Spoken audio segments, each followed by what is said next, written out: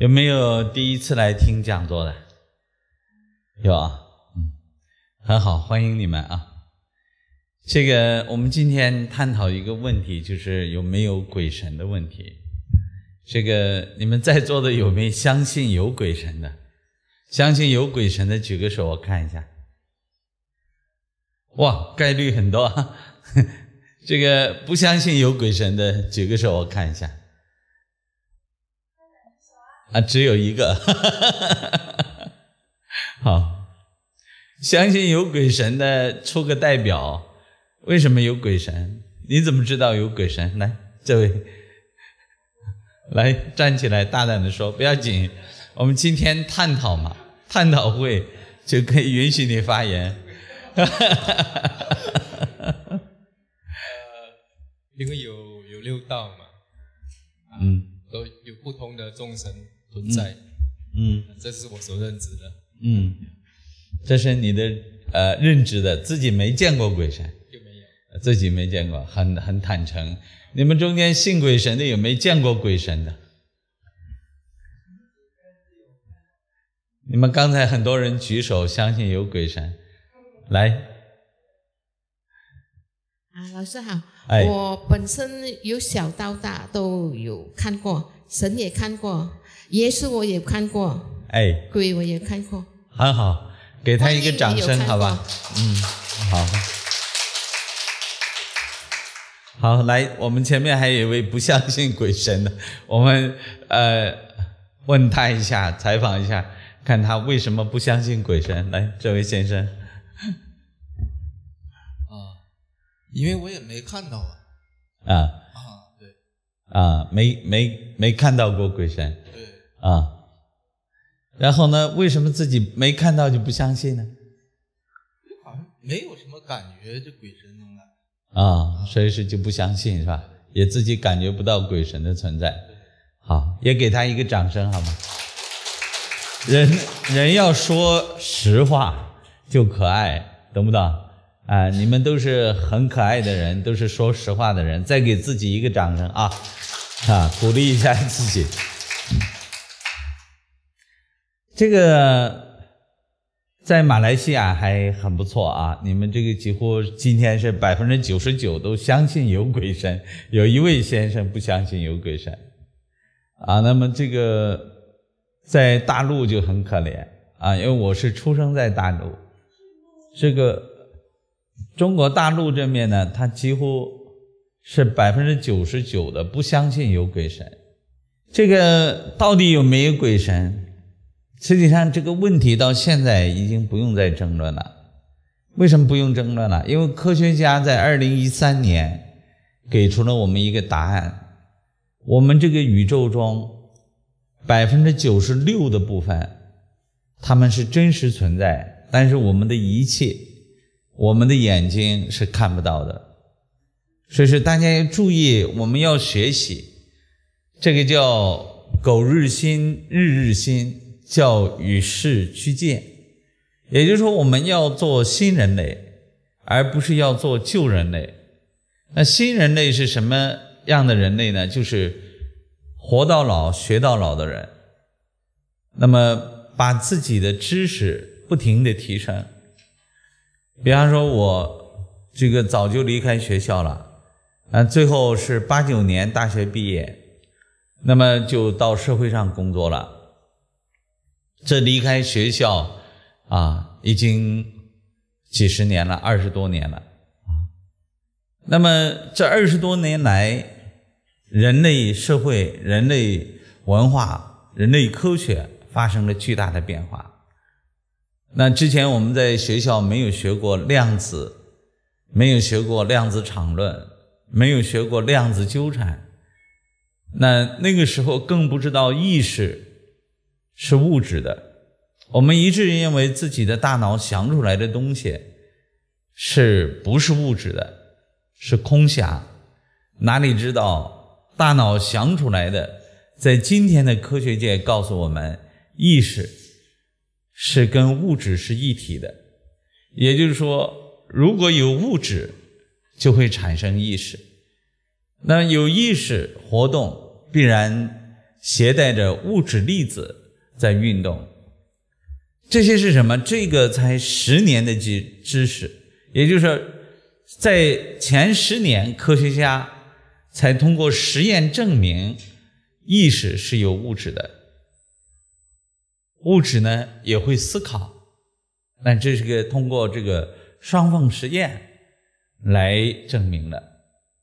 那科学家在对量子进行研究的时候，他们向这个一面墙。释放量子，光量子。那么，在这个墙前面立成两个缝隙，所以是这个光子通过这个缝隙打入到另外一面墙。那么，这个科学家在操作的时候发现，哎，这个光子过到对面的时候，并没有在对面的墙上面。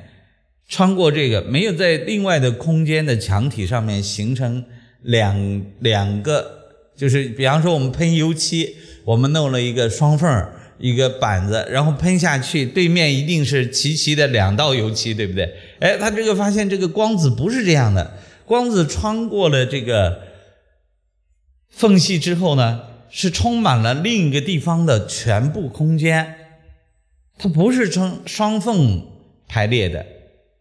哎，他就很奇怪，然后就架了这个摄影机，然后再来观测这个光子，就是说，哎，我在释放这个光子通过这个缝隙的时候，光子为什么变成全空间排列，而不是双缝排列？结果奇迹出现了，当他们架了摄影机观测的时候，结果那个出现了双缝排列。就是说，光子不是在进去以后在空间弥漫了，而是听人的话一样的，根据这个缝整整齐齐的排列在对面的空间中。科学家就是搞不懂，然后哎，把这个再拿掉，啊，拿掉，拿掉以后呢，这个这个摄影机拿掉，不关不监督它了，不监测它了。结果再继续做，哎，又是跑到到处都是 弥漫整个空间，啊，他们说，哎，再观察一下，哎，又是双缝，这是著名的今天的，我是简要的介绍了双缝，实际上里面有很多的这个内容，科学内容在里面，那就科学家终于悟出来，哎，原来这个光子带思维的，因为他知道你在看它，你希望它通过双缝摆列出这个双缝。说是后来终于证明量子有意识，有意识。那么后来他们又进行了什么呢？这个叫这个量子纠缠的实验，就是把一个量子对儿，就是一对量子，一个放在马吉隆坡，一个拿到新加坡，然后同步观测。同步观测呢，当这个量子处于高兴状态的时候。结果新加坡那个量子啊，也是处于高兴状态，并且是同步的啊。那么等一下呢，这个让这个吉隆坡的量子，然后发生痛苦的表现，然后结果新加坡那个量子也痛苦了，并且也是当下的时空，就是这个时间没有说间隔了多少分钟有一个传导没有。那这是当下的。后来他们想，哎，这几百公里可能是不是啊？那个更远的距离就不行。结果他们用更远的距离做实验，拿到地球这个月亮上太空飞船上做实验的时候，那么他们发现，哎，还是这样的。那就是说，量子它在传感的过程中，传递感情的过程中，原来是同步的。这个叫量子纠缠的最新科学研究。那么量子双缝实验、光子双缝实验还告诉我们我们一个什么道理？就是人的意识、起心动念很重要。那原来物质界的这个粒子、光子，它可以根据意识产生定性的。所以他们通过一个著名的量子科学叫谢定谔的锚，有个著名的物理学家，他叫谢定谔。谢定谔呢，他在研究量子场论、量子意识的过程中，他假设在一个器皿中放上一个开关，这个开关连接一个毒气装置，那么同时把这个这个猫，一只活的猫放在这个仪器里面，那。一般人认为这个猫现在是活的，但是在谢定谔理论说，这个猫现在又是活的又是死的，就是处于同步同步状态。只是说你会不会跳动那个毒气开关？如果是说你的意识触动了，你认为猫是死的，你打开这个装置的时候，猫就是死的。为什么？是因为你的意识认为它是死的时候的当下。触动了那个开关，是你的意识打开了那个开关。所以是当你打开仪器的时候，猫是死的；当你认知猫是活的的时候，打开这个仪器的时候，猫是活的。就是你的善性的好的意识不会伤害到这个猫。如果是你用恶性意识、不好的意识，它就会什么？它就会自动的打开。那个毒气开关，然后就猫就是死的。那这就是说，猫同步是活的，又同步是死的。那决定在哪里？决定在于你的意识状态。这是为什么在我们佛教界特别强调一个道理，叫什么呢？叫起心动念处修。也就是你要把握住当下自己出来的念头都是善念，如果出来的念头不是善念，结果就是不是好的；如果你出来的念头是善的，结果就是什么？这个不善的就是不好的，就是恶的；善的结果就是好的。所以是你们才知道自己的人生是谁来决定的，是你自己的心念。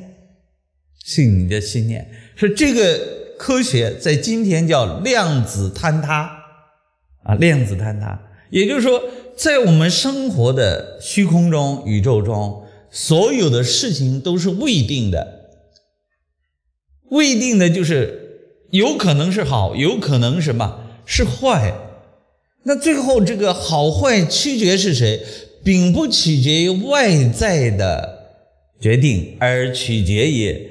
你当事人的内在心念的善恶，你动一善成就一善，动一恶成就一恶。所以说，为什么我们在佛教特别强调把握住起心动念处修，是这个道理，就是你自己要控制自己的念头，不可以产生恶的念头啊。所以是当这个今天很多癌症病人实际上是被医生和家人杀死的，包括他自己杀杀死自己的，什么意思？就哎呀，我活不了了啊！医生也说你活三个月也差不多了，家人也通通说，哎呀，这个我们的这个亲人不行啊，就能活三个月啊！你看，所有的人都在用恶念整死他，结果真的到三个月他死了。死了以后，医生说：“你看我说的很准吧？” 然后家人也说：“哎呀，那个医生很灵验啊！”实际上是所有的人用意念杀死了他。那么在以前的时候，我们的这个人道精神就是家人得了重病，要不要告诉他？即便医生查出来说：“哎呀，这个家人得了癌症了。”然后大家都知道癌症会死人，所以说，那么医生。要不要告诉你得癌症了？没有，医生说：“哎，老先生，没事的，没事的啊，你的身体检查的挺好的，都是小病，感冒发烧。哦，哎，你你叫你你出去休息一下，叫你儿子进来，叫你家人进来。所以是这个，当这样的情况下，家人来了以后，这个医生会向他的家人宣告说：，哎，你注意，这个你父亲不行了，他这个得的是这个。”癌症啊，所以说，那么这个如果是不好好治的话，他可能没有几个月的活头了啊。所以是那么以前的医生出于人道的时候，都不是炫耀自己的诊断有多么准，而是不让病人知道他得了这个绝症。为什么？人的恐惧会杀死自己，人的恐惧会使体内产生大量的毒素，然后人的情绪如果是开心的、喜悦的，那么会制制作很多的好的营养给我们的生命体。所以大家要重视，我们要在量子坍塌的这个理论指导下。真的相信释迦牟尼佛所说的这个，在处起心动念处修啊！你们中间有很多人喜欢去算命，然后算命遇到了一个大和大师，说：“哎呀，你下个月要撞车。”然后你就也想：“哎呀，倒霉，我要撞车。”然后实际上在那个时间。在那个点上，有可能撞，有可能什么不撞。刚才说谢霆哥的猫嘛，它可能是死的，也可能什么是活的。说是像有人来找我算命的时候，他遇到接下去有撞车，或者接下去有危难发生，那我这个功夫师会说什么？我说不要紧，可以化掉。我说你要去念佛念咒。然后去做善事，然后就不会撞车。那结果那一天也真没撞啊。那结果人家说这张大师，本来我也不会撞嘛。然后你看，也不是说他给我化掉了，应该就是没什么本事的这个大师。如果你到张大师这来，张大师说三个月后啊，某一天你会撞车，结果那天真撞了，你结果高兴的不得了。哎，这个大师准呐！你看他算准了我三个月会撞，我真的撞了。实际上是大师的意念加上你的意念加上你的冤亲债主共同作用，你真的撞了。那如果是说三个月后该着撞车，你真撞了，那你算命干什么？你告诉我。你找大师算命干什么？不是没有用了吗？说真正的大师级的算命师，人家是什么？看到你三个月后撞车，最后说几句话，调一下你的时空场，调一下你的冤亲债主，让你烧点金银纸，办点小法会，砰，不撞了，不撞了。你说他算的不准，真撞了。你说人算的准，没有智慧。现在人就是这样，没有智慧。所以是真的会出现，我们也会说没事儿，也会使劲的纠正你的念头，往善的方面去发展。那所以有的癌症病人到我这儿，然后有的人这个就拿出报告说啊，那个我们这边著名的这个癌症科医生说我只能活过三个月，我就努力纠正他说，我说你相信我是大师，然后你绝对会超过三个月。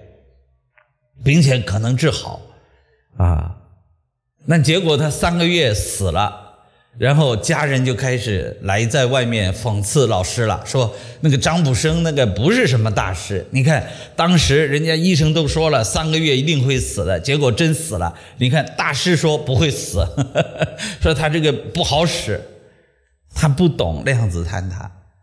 那么我是想纠正你，结果你家人也认定能死，亲人也认定能死，你自己也坚定没有改过念头来，你就认定你三个月一定会死，那你一定会死，因为你的恶念杀死了自己嘛，这跟自杀没什么两样。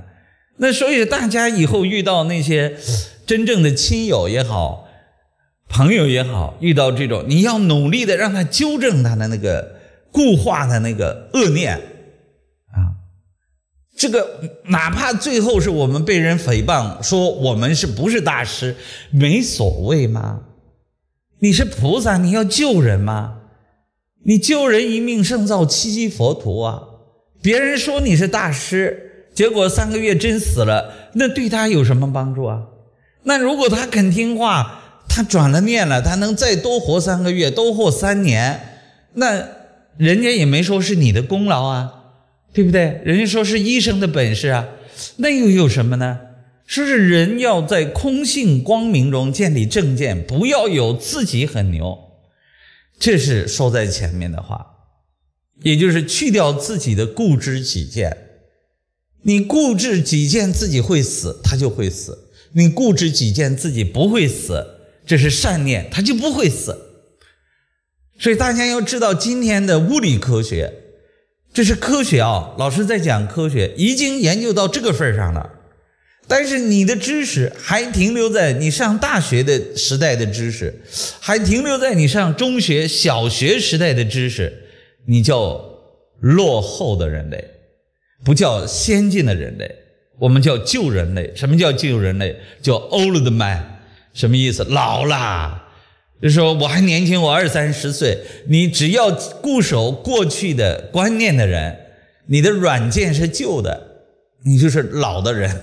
你只要用了新软件的人，就是什么？就是新人类。什么意思？我们大家都知道电脑，在座很多人跟我年纪差不多，有的比我年轻很多，不懂。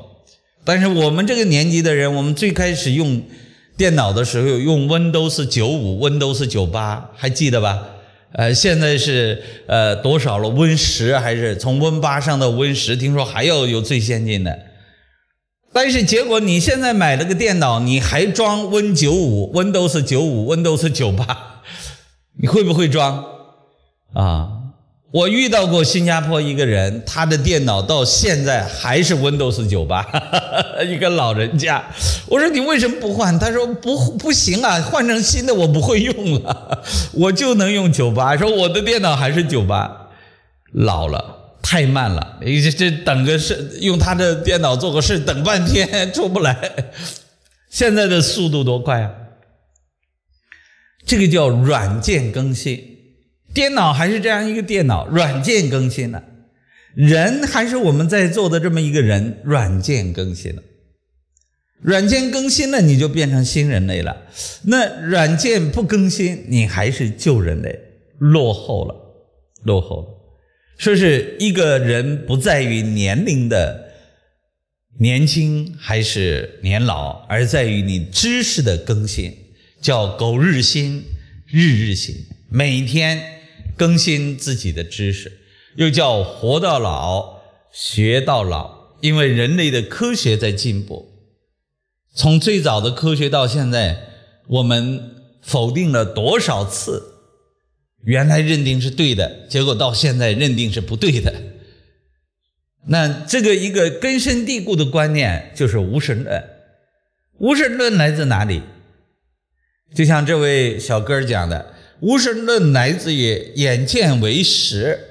你说你说有鬼有神可以啊，你拿照相机拍给我看一下，拿摄影机拍给我看一下，或者让我亲眼看一下，然后我就相信了。为什么你会有这样的根深蒂固的观念呢？因为你是科学信仰者，你相信科学，你相信的科学就是科学是万能的。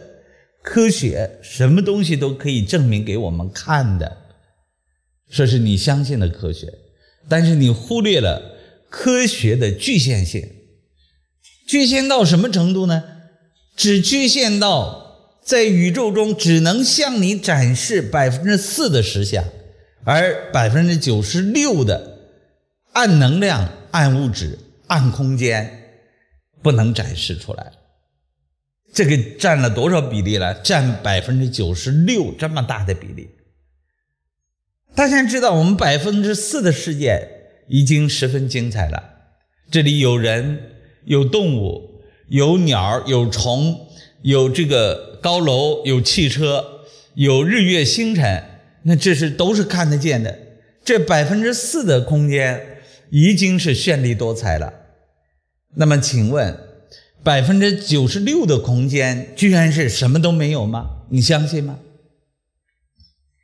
说这个招呢，在我们佛教里面叫思维修，思维修就是你通过自己的理性、智慧、大脑思辨，也知道不可能。百分之九十六的空间肯定是更加的精彩万分。唯有遗憾的一点，我们目前找不到工具去看、去听，找不到工具进入那个空间去跟他们打交道。佛教，我们的导师释迦牟尼，再过几天是他的生日，啊，阴历四月初八，卫赛节啊，那么是纪念这个释迦牟尼的圣诞啊。那么从他成道之后，我们人类有了一个一盏明灯，那么为我们揭示了大量的宇宙实相、生命真实相。说他一生只向我们宣讲两种道理，一种是宇宙真实相，一种一种是生命真实相。所以他老人家不妄语，不狂语，也不是为了写书好卖好卖著作权，好赚稿费啊！你们知道他当时只负责说经不写经，后来是他灭度以后，他的弟子阿难。和五百大阿罗汉才把他说了四十九年的东西集结成经文，现在才有大藏经。所以他老人家不是为了卖书，不是为了著作版权拼命的写、拼命的说，跟现在的人不太一样。那么他为什么要这样说？那他是为了欺骗我们吗？为了名气吗？他如果是为了赚钱，他就不要放下王子的身份而去托钵了。这个是当时他的命是当国王的命，他爸爸要培养他接班做国王，他是太子，并且是唯一的儿子。那结果他在十九岁的时候出家，去做人类的最低贱的行业。托钵，也就是要饭，你们现在叫叫花子。他为了什么呀？他为了赚钱。叫花子好赚钱，叫花子有福享，不是啊？在皇宫里多自在呀，在皇宫里多么享福啊！是他为了追求一个永生不死的一个生命的实相。为众生的解脱出家修道，那最后终于菩提树下正道，正道了一通百通，他跟整个的宇宙、整个的法界融合成了一体，然后向我们宣说了整个宇宙法界的实相。这个实相就告诉大家，我们所生活的空间。是一个多维空间组合的一个宇宙，我们生活的法界是由三千个大千世界组成的，一个世界就像我们生活的宇宙一样，这个宇宙是经过了一百四十亿年走到今天的一个宇宙，是大家的心量要从小我，从你的工作本位。从你的小家庭，从你的小国家，要上升到宇宙这么广大的一个概念，去探讨我们生命，我们这个小不点的人类，这个生命为什么要在宇宙中诞生？这个生命诞生之后，它的意义何在？大家看到大屏幕上的这个图呢，是一个科学家谋逆的。一个宇宙生成图，也就是我们的宇宙从一百四十亿年前诞生，诞生一个点，你可以把它想象成一个光子。这个光子中间充满着真空能量，真空能量太大了之后产生了大爆炸。这个就是今天科学家对宇宙诞生的一个科学论断，就是。在一个基点、一个光子中储存了大量能量以后，产生了巨大的爆炸，然后形成了今天我们生活的宇宙空间。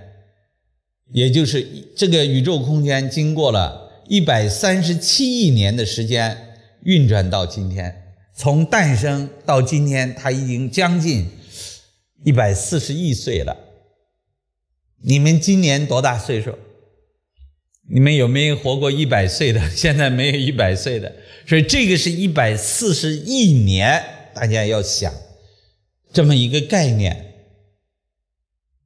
那么这个一百四十亿年的宇宙诞生之后，它的寿命还有多长时间呢？大概再过一百亿年，也就这个毁也就坍塌了啊！是就好像大家看到的一个气球，气球往里充氢气，冲啊冲啊冲啊，冲到一个点的时候怎么样？砰，就爆了。所以，我们这个一百四十亿年的宇宙，将来不停的膨胀、膨胀、膨胀、膨胀到一个极限的时候，砰，就什么爆了。这就是实相啊，这就是实相。所以大家要知道，那么在我们宇宙中，这是宇宙，亦叫世界。那么宇是时间，宙是空间啊。所以是我们的宇宙是一个一百四十亿年前诞生的。那么像我们这样的世界，才叫一个小世界；像这样的世界，一千个叫一个小千世界。那一千个小千世界叫一个中千世界。那么一千个中千世界组成一个大千世界。那么我们宇宙中像我们这样的世界。有三千个大千世界，你算是多少？是不是我们生活的地球所在的空间不是唯一的空间，而是三千个大千世界中的一个很小很小的像沙粒一样的一个世界，很小。那这就像你站在这个太平洋上，坐船到了太平洋以后。看海面，一个平静的大海面上起了很多很多的浪。我们所生活的法界，实际上就是像大海一样的尽虚空变法界。那么，在这个大海里面翻腾着各种的浪花，其中一个浪花就是我们一百四十亿年的砰打击的一个宇宙。将来有一天，砰也要湮灭掉啊！所以说，这个就是什么？佛陀告诉我们的宇宙真实相叫成住坏空啊，不是永恒的。说我们人类呢，结果在这一百年的时间里面，还去追求永恒的东西。你认为你的财富赚了就永远是你的？你认为你的房子赚了就永远是你的？你认为你的汽车永远是你的？所有的金银珠宝永远是你的？你没有智慧，因为你充其量活一百岁，再活活到一百二十岁，现在还没有超过一百二十岁的人，所以是怎么叫永恒啊？是在人这个地方，在宇宙人体外的宇宙的所有的都有一个生成，叫成。生成之后，它有个注释的阶段，叫注。在注释的过程中呢，它逐渐的毁坏，有个坏，在毁坏到不能再坏的时候，砰，爆炸了，到空没有了。这个都是成住坏空的这个过程。那对于生命，所有的生命都有一个生老病死的过程，就是你从少少年，从孩提时代开始出生。出生开始长大，长大以后就开始生病，老了。你看我们今天你们身边，你们可能还没有受过大病的折磨，但是你看你身边的老人，他们离开人世间，有几个是寿终正寝的，有几个是无疾而终的，大部分都是不停的生病，病魔折折磨他，折磨了很多年以后，最后不情愿下去世了。所以生老病死，最后人一定会死，包括伟大到释迦牟尼也不在人间了，所有的历史上的圣人也都不在人间了。所以说，那你怎么可能就不死呢？是你自己麻醉的自己，你觉得，哎，我还年轻，我还年轻，我还年轻，我今年五十多岁了，我也觉得我还二十多岁啊。没觉得自己老啊，充满着活力。后来想想，不可能啊，五十多岁了。我在二十多岁的时候看一个五十多岁的人，我都觉得他挺老的呀。那我现在应该也是挺老的了。那么你们现在七老八十的人也有在这听讲座的，那么你们觉得你们老吗？没觉得老啊，你也觉得你才二十来岁啊，还活在那个年轻的思维中啊。我母亲今年啊七十九岁了，上次她来新加坡，因为我是中国新移民，我的出生在中国，说父母不喜欢移民新加坡，她还留在大陆。是来看儿子，然后这个住了一段时间，他就跟我拉呱说话，说：“哎呀，我觉得我自己不老，但是我出去走路呢，我就觉得走得轻飘飘了，怎么走着走着，所有的人都超过我了？他走，他没觉得自己走得慢呢，年纪大了嘛，你这个腿脚不灵，他觉得他自己年轻，然后走的也挺快的。”怎么看着人蹭蹭蹭的都超过他了？这一想，哎呦，我也快八十岁了啊！这是慢了，这是老了，腿脚不灵了啊！你看，人都是这样的，你没觉得自己老啊？但是事实，你不可能不老啊！就是你现在还年轻，你比昨天已经老了一天了。就这样一天一天的老，一天一天的老，终于等着自己要。闭上眼睛不再睁开的时候，你才知道自己不行了吗？说是什么叫觉者佛也？就是一个真正的智慧者知道时间实在太宝贵了，因为在这个世间，什么东西我们都可以用金钱来换，只有一样东西是换不来的，就是时间。那现在你们谁肯换啊？能够让我变成二十八岁？啊，我拿十个亿来给你换，我给你十个亿，你让我变回二十八岁，不行，给你一百个亿我也干呢。我多活了好几十岁，十岁不可能。属诸佛菩萨也没这个本领，所以大家要知道，生命的可贵在于不可重复性，不可以让你再回去再过新的一天。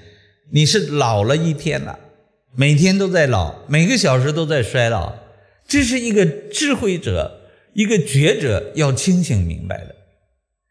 说是是日一过，这一天过了，就像少水的鱼一样，已经看到你这个原来的池塘中的水一天比一天少，干了嘛？一天比一天少，你要生这个大敬畏、大恐惧。为什么？哎，是日无多，因为等到完全没水的时候，就是我干死的时候。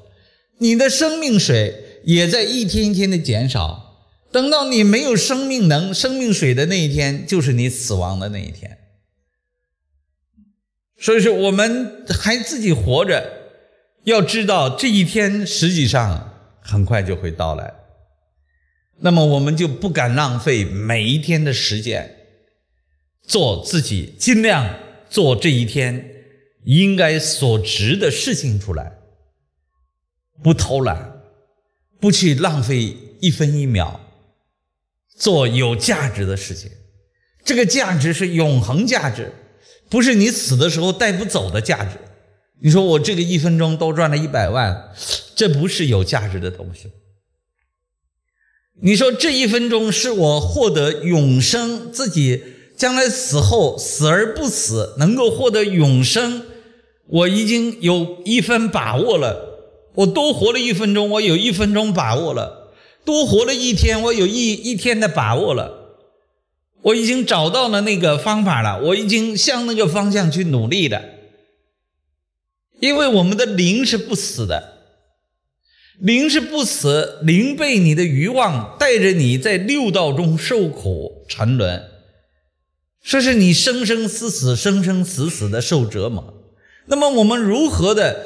解脱出来，不再生死，活在一个永远的快乐的世界中，这是所有圣者教给我们的方法。大家要知道，这个值钱，这个才是真正有价值的，因为这是生命的终极目的。所以说这就是生命的实相，宇宙的实相是太浩瀚的星空，告诉你我们地球很小。人为什么会很自大？因为你不肯看天空。我在欧洲的时候见识了一个老教授，他是搞天文学研究的。哎呦，这个老教授，你跟他这个在一块儿那个舒服啊？为什么他心里宽宽敞敞的？你感觉到他这个人简直博大的，就跟星空一样的博大，没有小心眼，不计较任何东西，吃什么不在乎，穿什么不在乎，对于每一个人都谦卑的不得了。他是世界有名的大的宇宙科学家。但是你去拜访的时候，俨然我是比他还厉害的人物，他这个渺小的不得了，他就是可以做到这一点。哎，我想这个人可能是修佛修到很好的层次了，修禅定修到很好的层次了。那我就跟他请教什么方法？我说你为什么我们在你面前觉得我们每一个人都很大，你反倒很渺小呢？他说。我天天面对的是星空。当我在仰望星空的时候，我发现地球很小；再往深处研究的时候，发现整个太阳系也就是很小的一个点；再往上研究，发现银河系也是一个小点儿。那你想，这个到银河系是一个小沙粒的时候，那地球在哪？那地球上我们这些人在哪呢？那今天我们的人可牛了，可大了，这个宇宙都是我的，我是宇宙老大。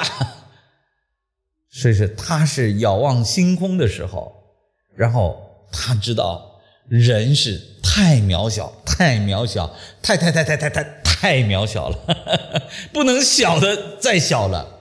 所以是他终于没有自己了，融化在整个宇宙中了。这就是佛教的最高境界。空性无我的境界，是他通过研究科学进去了。你跟他在一块没有任何的挂碍，你说什么都是对的，因为他是空的。你这个跟人可以吵起架来，是因为你不空，对方也不空，两个观念噼里啪啦，两头牛在那顶牛。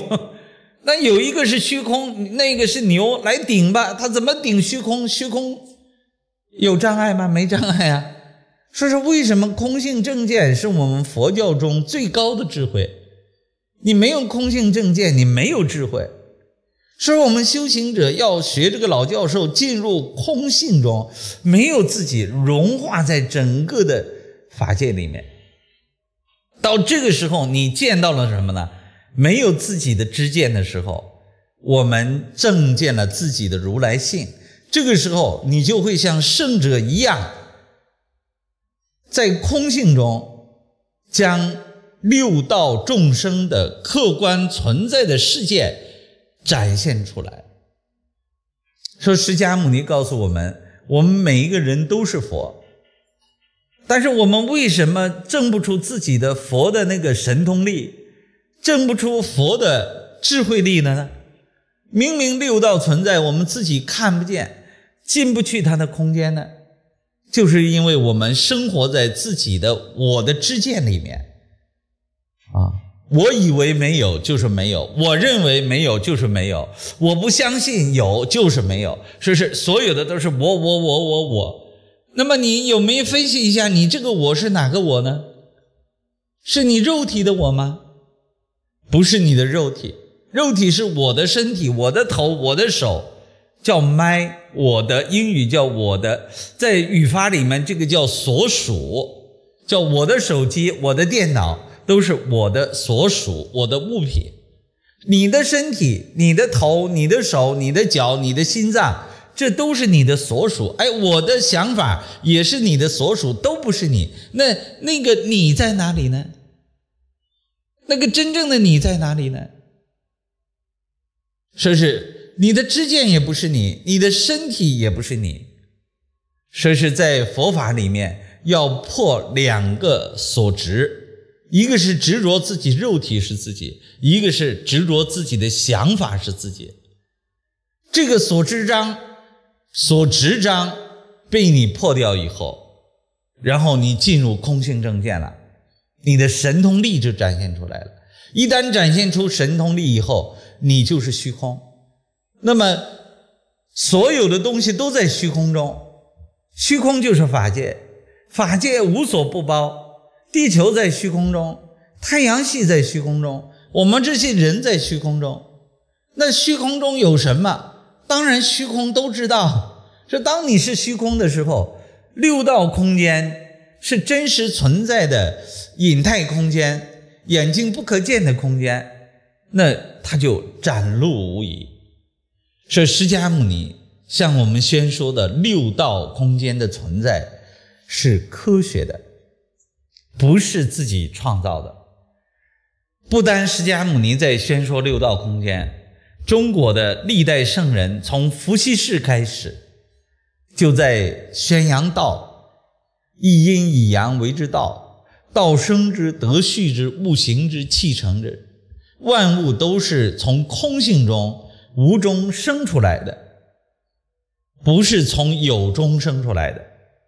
是是，那么这种高端的智慧，中国的圣人也在宣说，印度的圣人也在宣说。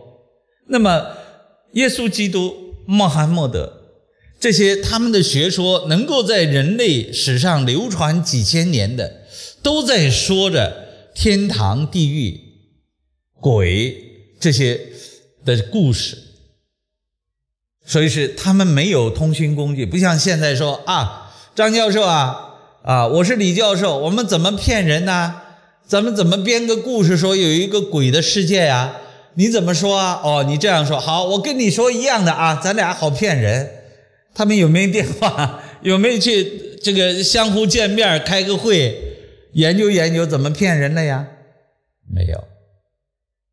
那么他们为什么都在宣说这同样的一件事呢？就是都是圣人，都看到了，真的看到了这个实相。但是他们的看叫观，观自在菩萨的观，他不是眼睛看，他是心灵的展现，心灵空性的对宇宙实相的一个展现。不是拿你的肉眼所看，肉眼所看的东西很受局限。比方说细菌，你看到吗？看不到。大的巨星系，你看得到吗？你看不到。我们在银河系中，你看到银河系了吗？看不到，太大了，看不到边儿。所以说，我们的眼睛可见光很短，只是比它短的波看不到，比它。长的波你也看不到，比方说红外线，仪器可以影现出来，你看得到吗？看不到。紫外线仪器可以影现出来，你看得到吗？看不到。存在吗？不存在，仪器怎么可以影现出来？存在，你看不到。所以是眼见为实这句话是错的，这是很浅陋的人的智商。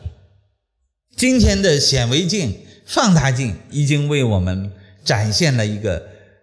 这个一个更广大的宇宙，不是眼见为实，是不是？那么我们，但是我们相信呢，就是科学可以给我们证明，科学是万能的。但是这个是二零一三年的科学家骗人的东西，我们被骗了。二零一三年之后，科学家说百分之九十六的真实存在隐态的，不可以对仪器显现。不可以被人看见、听到、摸到的存在，占宇宙中的百分之九十六，真的存在，测不出来。它叫暗物质、暗能量、暗空间。我们在中国古代称之为隐态世界。我们所面对的世界是一个显态世界和隐态世界两个世界同步共生的。是一体的，百分之四的显显态世界加百分之九十六的世界，才是百分之百的整个空间、整个宇宙。所以说，我们的思维，为什么你要成为一个圣人？你先要拓展自己的思维，从自己的这个小我的利益中，从小家庭的利益中，从小公司的利益中。拓展出去，从小国家的利益中拓展出去，哗啦，你到了整个世界；哗啦，你到了整个银河系；哗啦，你到了整个一百四十亿年的宇宙；哗啦，出了一百四十亿年的宇宙，到了一真法界，到了整个的尽虚空变法界，看到了很多很多的像我们地球一样的空间，这些小世界无量无边，就像在大海中，你看海上的浪花一样，有很大的浪花，有很小的浪花，都是浪花，它打起来最后都要回到水里，没有浪花。成住坏，是不是没有可执着的？你爱你的房子，你的房子可以生存多少年？传一辈儿，再传一辈儿，三代三百年，基本上没了。你爱的什么东西呢？对不对？你保养的再好，三百年，你看现在在马来西亚找一个三百年的房子很难啊，都没了，拆的拆，倒的倒。啊，不要了，跑到城市来买高楼了。农村的房子破烂了，没有三百年的。你你想永恒吗？没有的事儿，只是骗了自己。所以说，我们要回到真科学的时代。你现在在二零一八，要重视。你现在在二零一八，请你们回到二零一八，来到二零一八，欢迎你们来到二零一八，不是一九零八。所以说，你要活在当下，超越了二零一三。二零一三之前，科学家说，所有的东西我们都能够展现给你看的，仪器呀，这个人类科学发展到这么先进了，我逢是不能够用仪器展现的，都是不存在的，都是骗人的。逢是仪器能展现的，才是真的。二零一三年，全世界的科学家公开声明。能够看得到的展现的只到百分之四！你们还活在二零一三年之前，说我还要拿仪器证明给我看，我才信。所以今天已经不是信不信鬼神的时候了，这个时代不同了。在过去时，我们可以去争论。到底有没有啊？有啊，还是没有啊？有为什么不能够展现啊？我们为什么看不到啊？那现在科学家都定论了，你还在信不信上？那你是太落后了，顾不上你了。那现在是你信了以后怎么做的问题，信了以后做不做的问题。也就是说，你要不要跟鬼神打交道？你要想打交道，怎么打交道？是这个问题上升到了一个我们智慧必须去学习和掌握的东西。前天我带了一批人在你们吉隆坡给几户人家做风水。我们的风水是一种独特的风水术，是师傅带徒弟的先天风水，也就是把一个后天的风水。已经破了局的风水，破了场的风水，恢复成一个有场的风水，什么意思？大家知道这个东西像一块磁铁，这个是如果是磁铁的话，我放在这儿，它周围有没有一个场存在呀？有没有？你们连这个都不懂啊？连这个还要给你们补课吗？大家听课要活着听啊，不要一脸死相的听。如果这是个磁铁，这有没有场？大声点儿。啊，都还活过来了。好，不要听着死气沉沉的。最最最想知道一块磁铁周围有磁场，为什么我这是个铁钉？我拿老远的，你不用再捡了，老远的它砰就被吸过来了，对不对？不用放在这儿才有磁，我放这儿，噔，它自动吸过来了，因为有磁场。对不对？有磁力线，无中的东西，看不到的磁场，它是真实存在的，因为这是一个磁铁。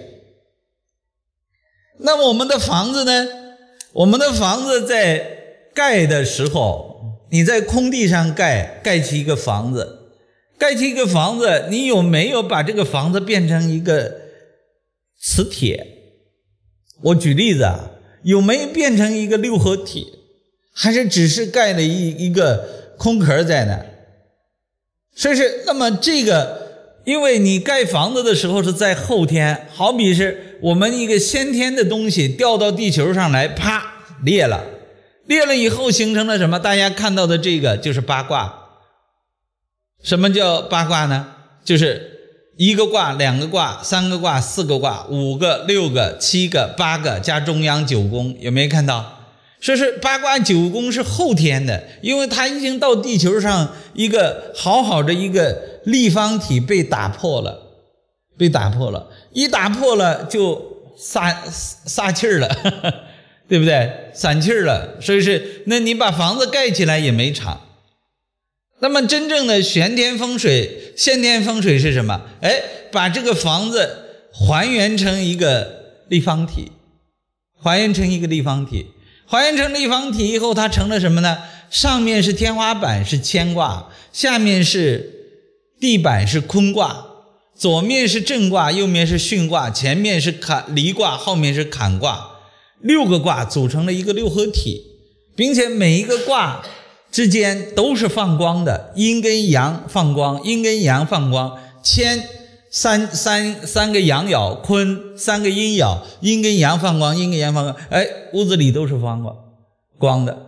震跟巽又是阴阳相对放光，坎跟离阴阳相对放光，还有一个对艮，说是因为你这个房子里面你进去了被充电了，你把房子的光吸走了，吸到体内了，因为你在外面放电漏电，你的眼耳鼻舌身意出去这一天都是在外面放电的。眼睛要看，耳朵要听，歘一下光出去，耳朵一听，歘出去了。眼耳鼻舌身意是六个贼，六个贼就在盗你的光。说你出去一天很累，你回到家里要干什么？要找充电宝。你手机没电，你要找充电宝。你回到家里，你的屋子就是充电宝，所以要把它恢复成一个先天放光的格局，向你的身体充生命光、生命电。那你这个，你这个屋子里的光被冲到你身上，它的光不足了，不足了怎么办呢？所以它还有一个对跟艮，这个一个叫游魂，一个叫归魂，啊，归魂，游魂是对，归魂是艮，什么意思？你魂儿不全了，魂魄散了，说是要把魂儿游荡的魂儿给招回来，叫游魂卦和归魂卦。说是，那么就是等于是说把光收回来，把光收回来。所以是你的房子的光不足了，对，去吸纳。哦，少铅，它插一转，自动键转上天花板了，吸的光到地板，地变成艮卦，哗，又放光了，把这个你吸走的光，它又充上了。过年过节，这个亲戚朋友都来，实际到你家都沾光，都把光吸走了。它这个对卦马上就要根据是少了巽卦巽的能量，还是少了震的能量？少了震对是作为嘴去吸吸这个震的能量。如果少了这个呃坤的能量，它朝大地吸，那最后对面都是艮，只藏收着，不让它再漏了。然后最后你的房子就变成了一个先天八卦结构。自动的补充光，说是那这个是什么技术呢？这是古代的使用暗物质、暗能量的技术，是师傅带徒弟传下来的宝贵的，使我们的生命能得到快速补充的先天八卦技术。今天靠书上学的人完全得不到这个，所以那一天前天他们去了十几个人跟我去实战。看老师在做，每一个人在之前这个房子，他们有一个感受，这个叫体道于身，要你的身体去感受，让你的心去感受，所以叫体道于身，体道于心。因为这个东西是眼睛看不到的，耳朵听不到的，所以但是你的身体可以感应到，啊。然后就像这里有没磁场，拿个铁钉就知道了。拿个铁钉，啪，铁钉被吸住了，那肯定是磁铁。但啪吸不住，没磁场，对不对？所以是，那么我们的人体就是个铁钉你到了这种地方，你体道于身，用身体去感应，用自己的心去体验，哎，有什么变化？这个房子，老师做之前跟做之后，它有什么变化？这个佛像。老师开光之前跟开光之后它有什么变化？这是只有你的身体，只有你的心灵给你答案，不是别人说。在之前，我不告诉人每一个人有任何的感觉，你自己去感觉。所以自己每一个人都有了同样的感觉，那就告诉你们是真的，不是相互作假 啊，是真的。每一个人都是这样，那就是真的。所以是佛陀、老子、耶稣基督、穆罕默德，他教学生学什么？学着怎么去使用百分之九十六的暗物质、暗能量，怎么和这个暗物质、暗能量组合的暗空间、隐态世界里的生命打交道。我们人生活在社会上，要跟人打交道，你才能富贵。从来没听说谁一个人从来不出门，钱就上门了。你总是要去跟人打交道，你即便是打工，你也要跟上司打交道，跟同事打交道，跟客户打交道，对不对？你是家庭主妇，你也要跟老公打交道，跟儿女打交道，跟长辈打交道，跟亲戚朋友打交道，跟周围邻居打交道。是是没从来没听说一个什么都不打交道的人，他可以得到人的尊重和富贵？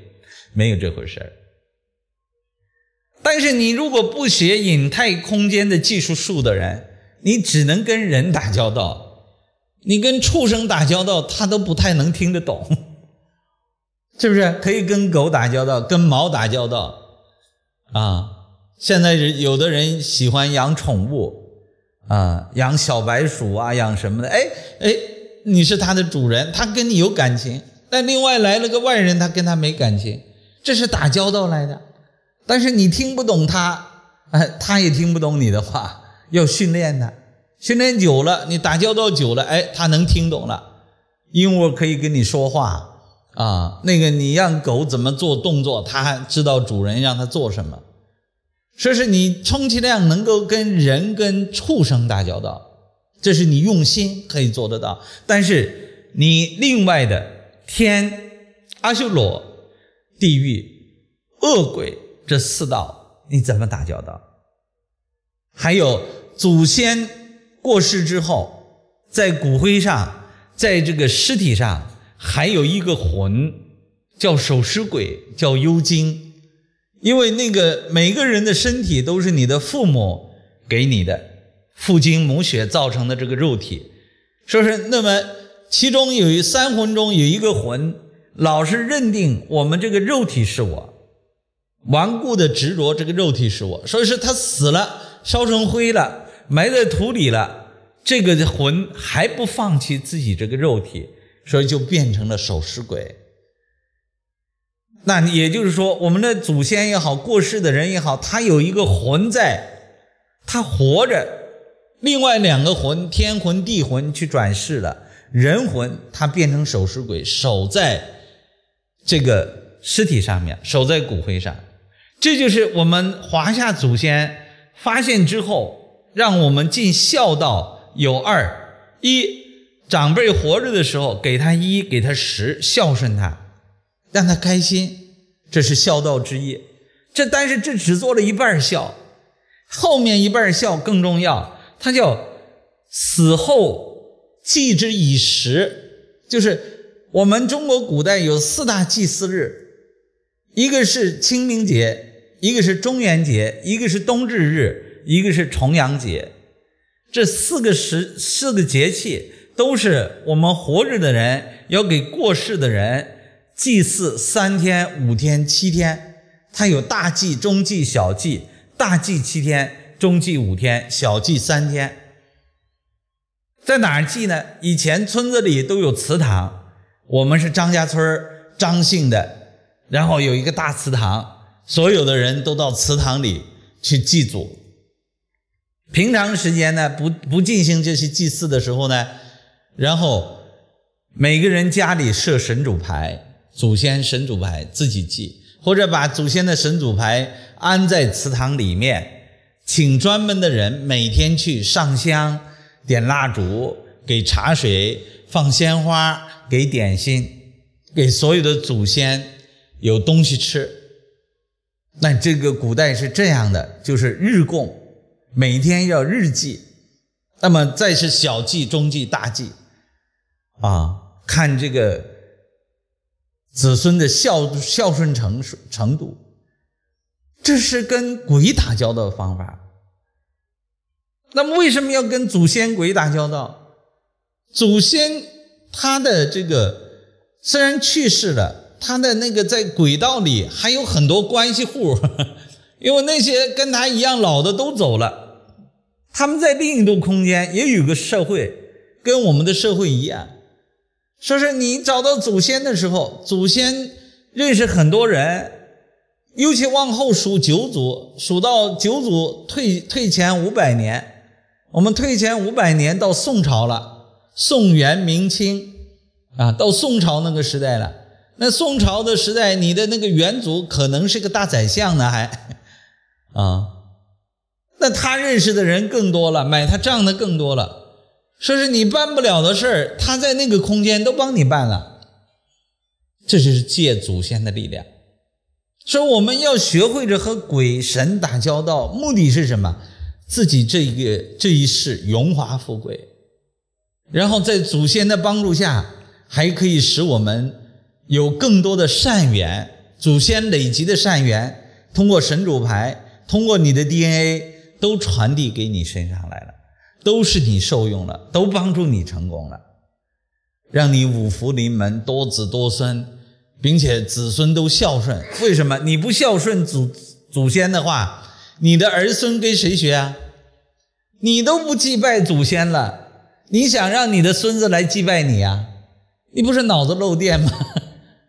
你不祭奠祖先了，儿子学你不祭奠爷爷了，到你的孙子的时候，那他爸能够带着他孙带你孙子来看你啊？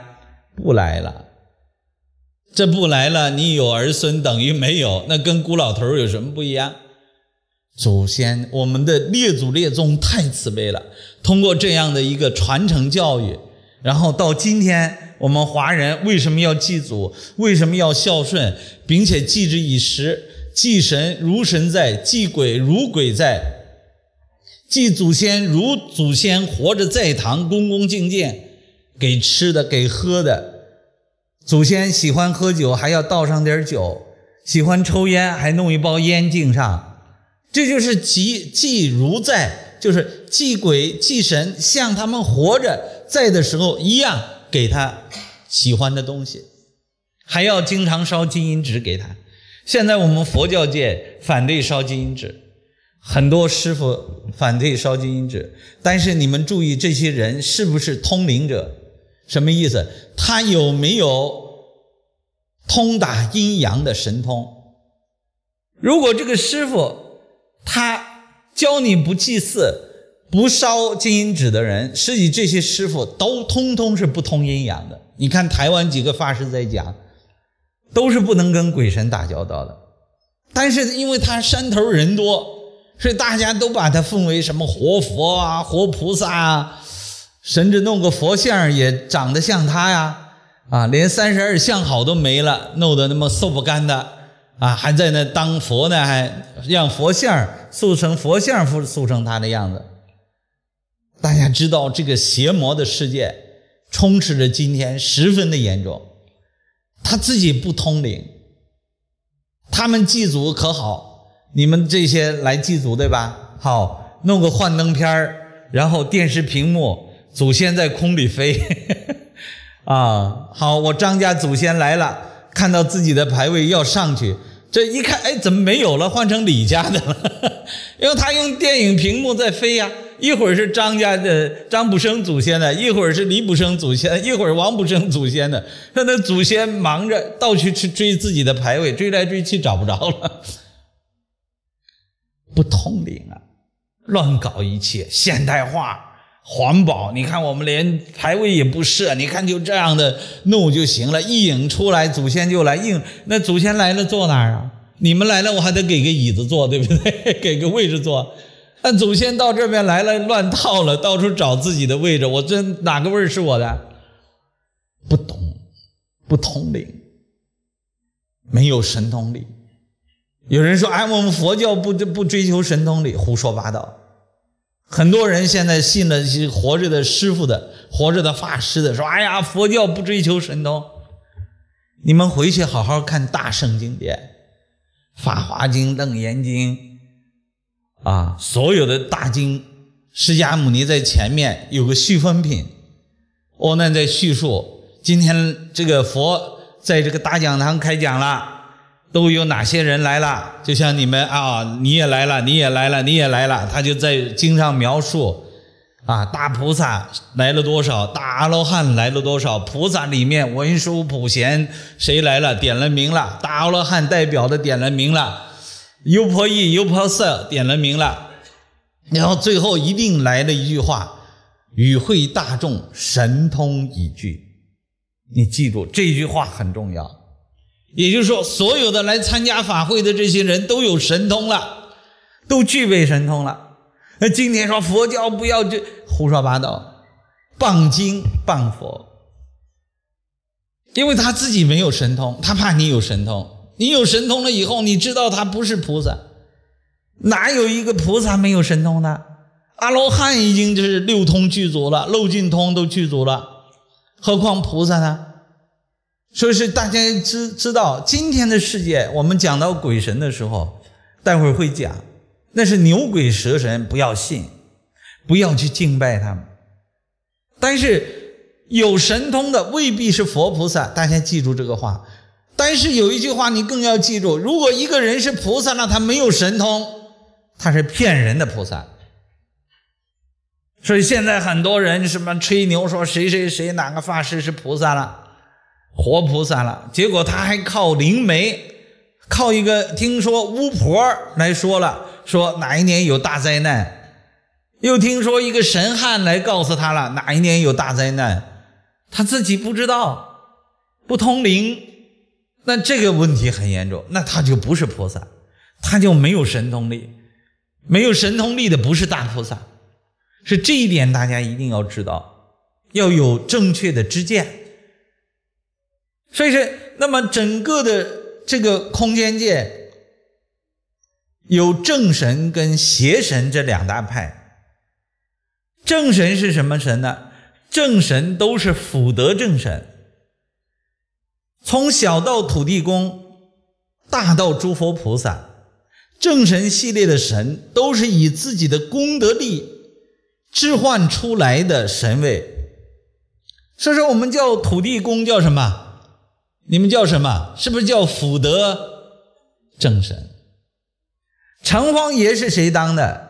城隍爷是过世的人，他完了具备了这个对整个城市有功，死后封神，封他为城隍爷来治理这个城隍，治理整个城，所以叫城隍爷。所以大家要知道，这所有的都是什么？城都是正神。正神都是凭着自己的功德换来的爵位，啊，就像你们今天搞选举选的这个部长啊，什么这些都是议，都是你们选上的这议员，议员最后当了部长，是因为你们佩服他的德行，信任他，所以是就被你们封成了议员，议员又被国家封成了部长，是这么封的。所有的政神都是这么封的，他有功于社稷，有功于老百姓。从小到我们的家宅土地，大到呃一个村子的土地，一个区的土地，一个国家的土地，国家的土地它的级别最高啊，然后往下一个级一个级别一个级别的小，就像从部长那儿又分局长，局长分处长，处长分科长，它是这样的一层层小下来分的。那么是我们显态世界的官员是这样封的。在隐态世界的正神都是这样封的，这叫封神。正神系统它最高的封神系统叫玉皇大天尊啊。玉皇大天尊，我们在南阳发现这个福建人、这个广东人，大部分在南阳混的都不错，大富豪啊，这个大成就者很多都是这个地方来的人。那么为什么他们会这么富贵、这么好啊？日子过得这么好啊？他们有什么秘密呀？你们中间很多都是都会做这个事儿，叫什么？拜天公。你们的年初九比初一还厉害，初九一定要拜天公。但是很多人拜天公不知道天公是谁，天公就是天上最大的那个，他所有的管辖这个三界，连天带地界带人界带鬼神界都是他管的，所以叫玉皇大天尊。那佛教界我们对这个没有认定好，玉皇大天尊他到底是哪一个层次的神呢？说是逢是在道教称为天尊的，都是菩萨级的，跟佛级的。你比方说三清、三清天尊、元始天尊、道德天尊、灵宝天尊，这是佛一级的。我们跟他等同于我们在佛教界的三世佛。那再往下的玉皇大天尊，他是治理我们这个三界总共二十八重天的大天尊。所以是那么有的人佛教界把他贬为倒立天主，倒立天才是欲界二重天，欲界二重天它有横向的三十三天，欲界二重天它在哪儿呢？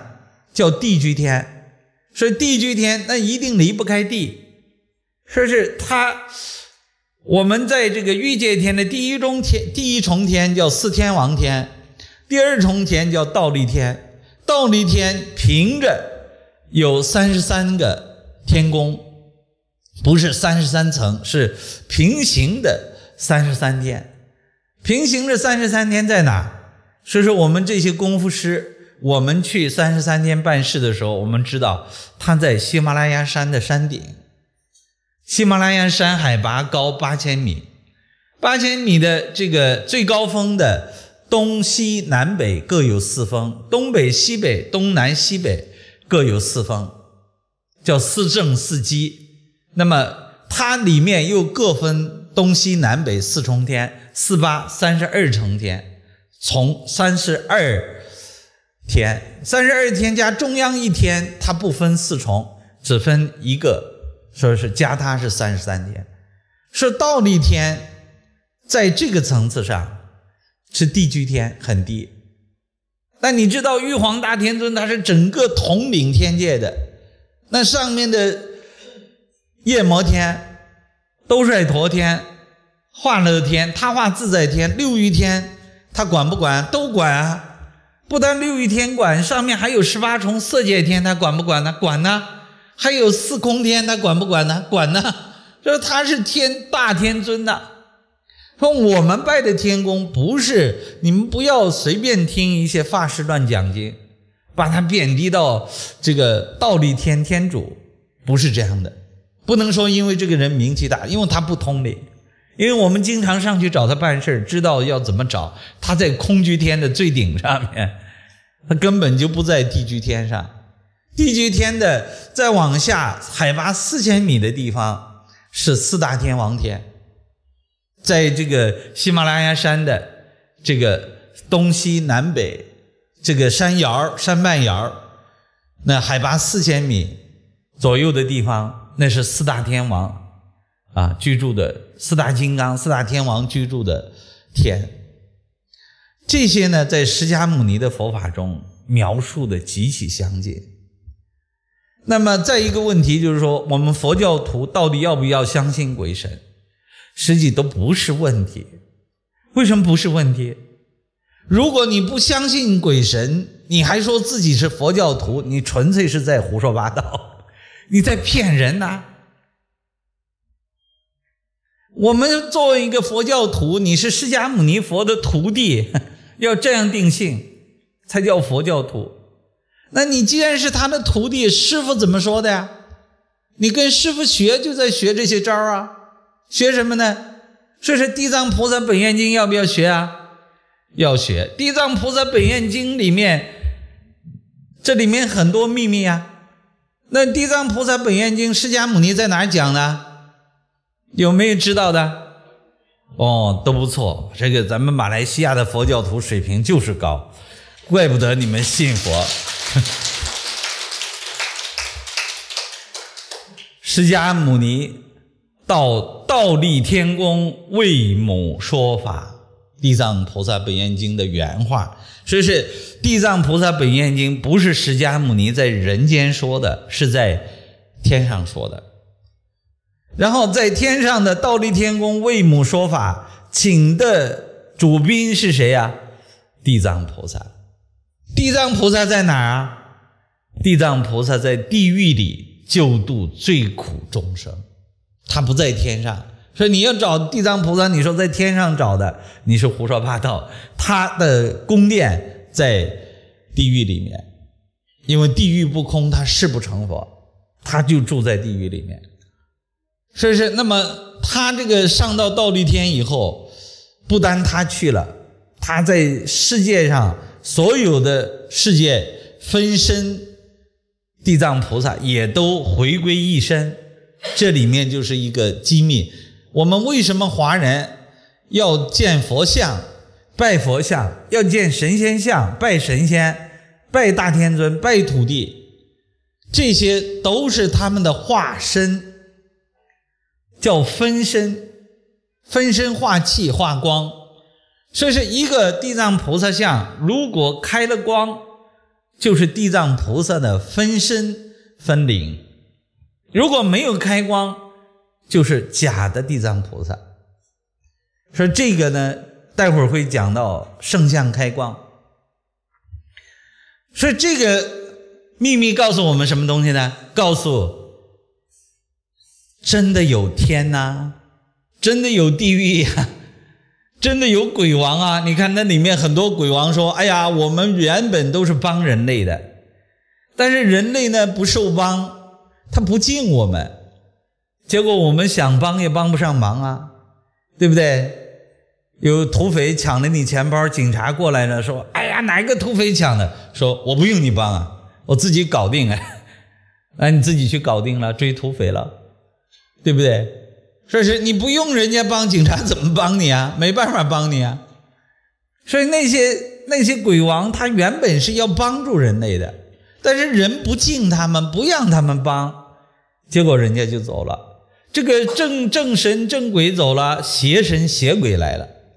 因为你太傲慢了，你跟他的那个频道是同一个频道，你那个驴脾气，你那个恶脾气，他喜欢。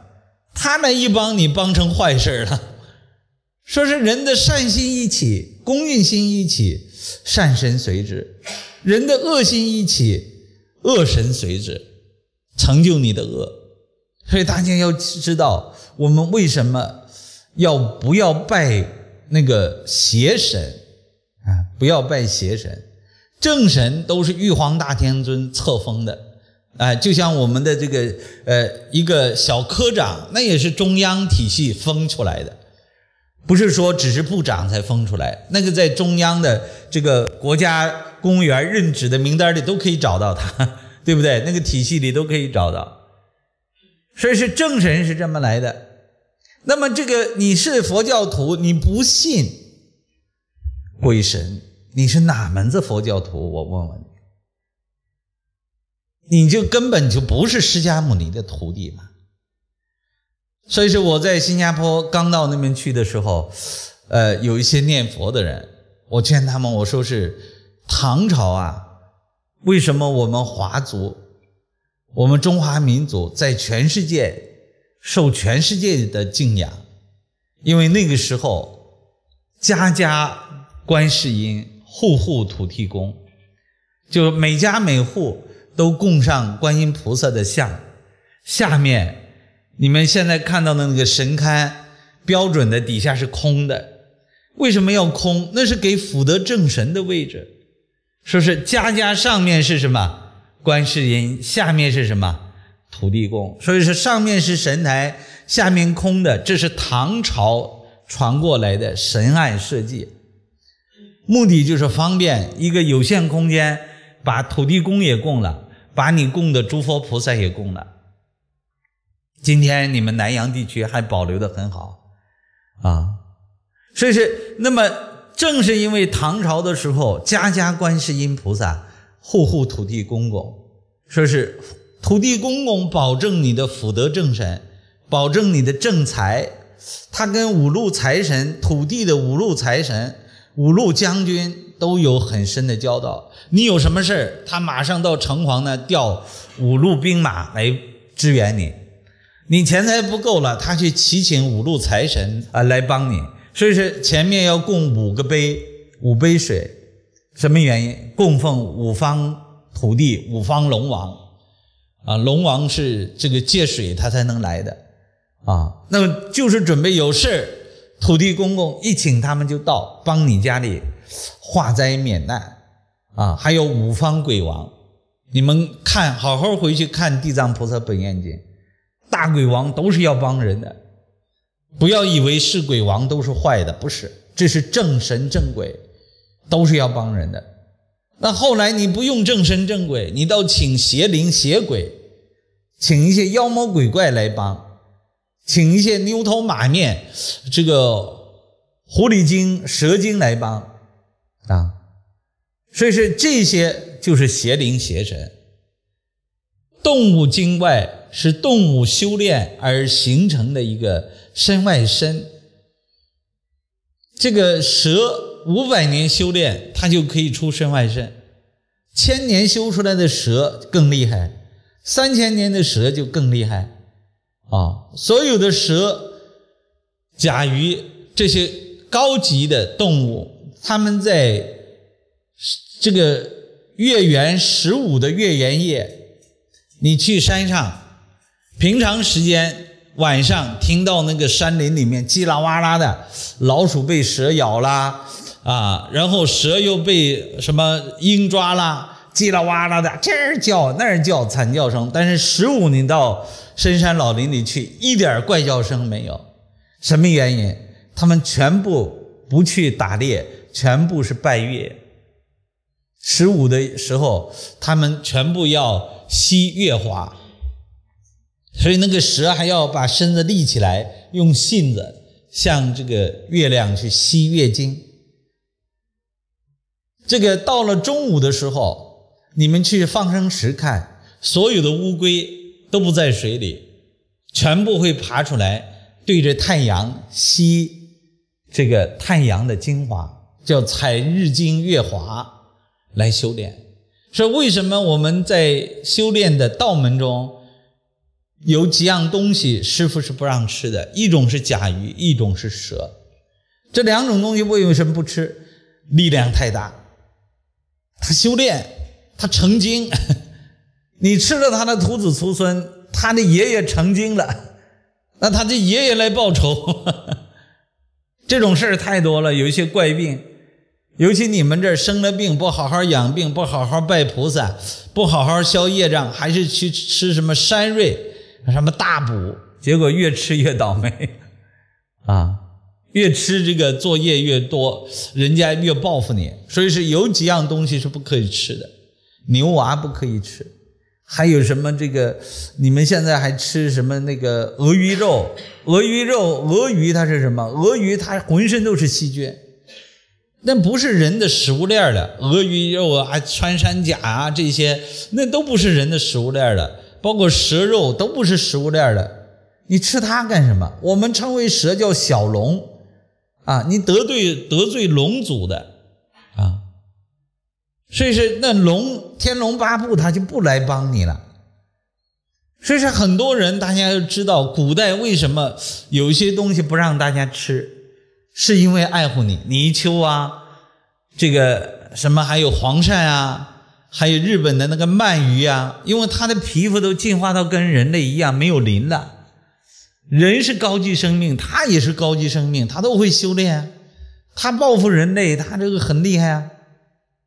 我有一次这个，因为我现在是呃不是纯素食的，然后那个有一次我给孩子去买那个鱼，你们叫那个带鱼，那个亮亮的那种啊，我们叫刀鱼。啊，然后去了我们的一个超市买，买一看，哇，挺好，今天很新鲜。那你知道带鱼是海里的，它一定是死了的，我们叫三净肉。然后就拿了几条放到那个秤上，跟那个小哥说：“你帮我称称。”结果我拿的时候没事我说：“你给我称称。”哗，这只胳膊不会动弹了。这一不会动弹，我们都懂啊，这是这个叫卡住了，懂不懂？有东西进去卡住了，实际上是什么？那些鱼的灵，鱼虾蟹鳖的灵啊！这一看你这个高人来了，都找你超度，这是鱼贯而涌进去了，不是那几条鱼能搞得你不动的。结果我这怎么办呢？我就哎呀，我这个我们有孔雀明王咒念吧。因为念了孔雀明王咒，所有人他就不能够捣蛋了。结果越念越疼，我说这不对，这要治住人家不对，要吃人家的肉还要治人家。那我就跟他们商量，我说，所以说你要懂得用这个心心音，不是嘴上说，是心里说。他说你要什么呀？你们要什么呀？要什么才弄得我不疼啊？那你我能给你们就给你们啊。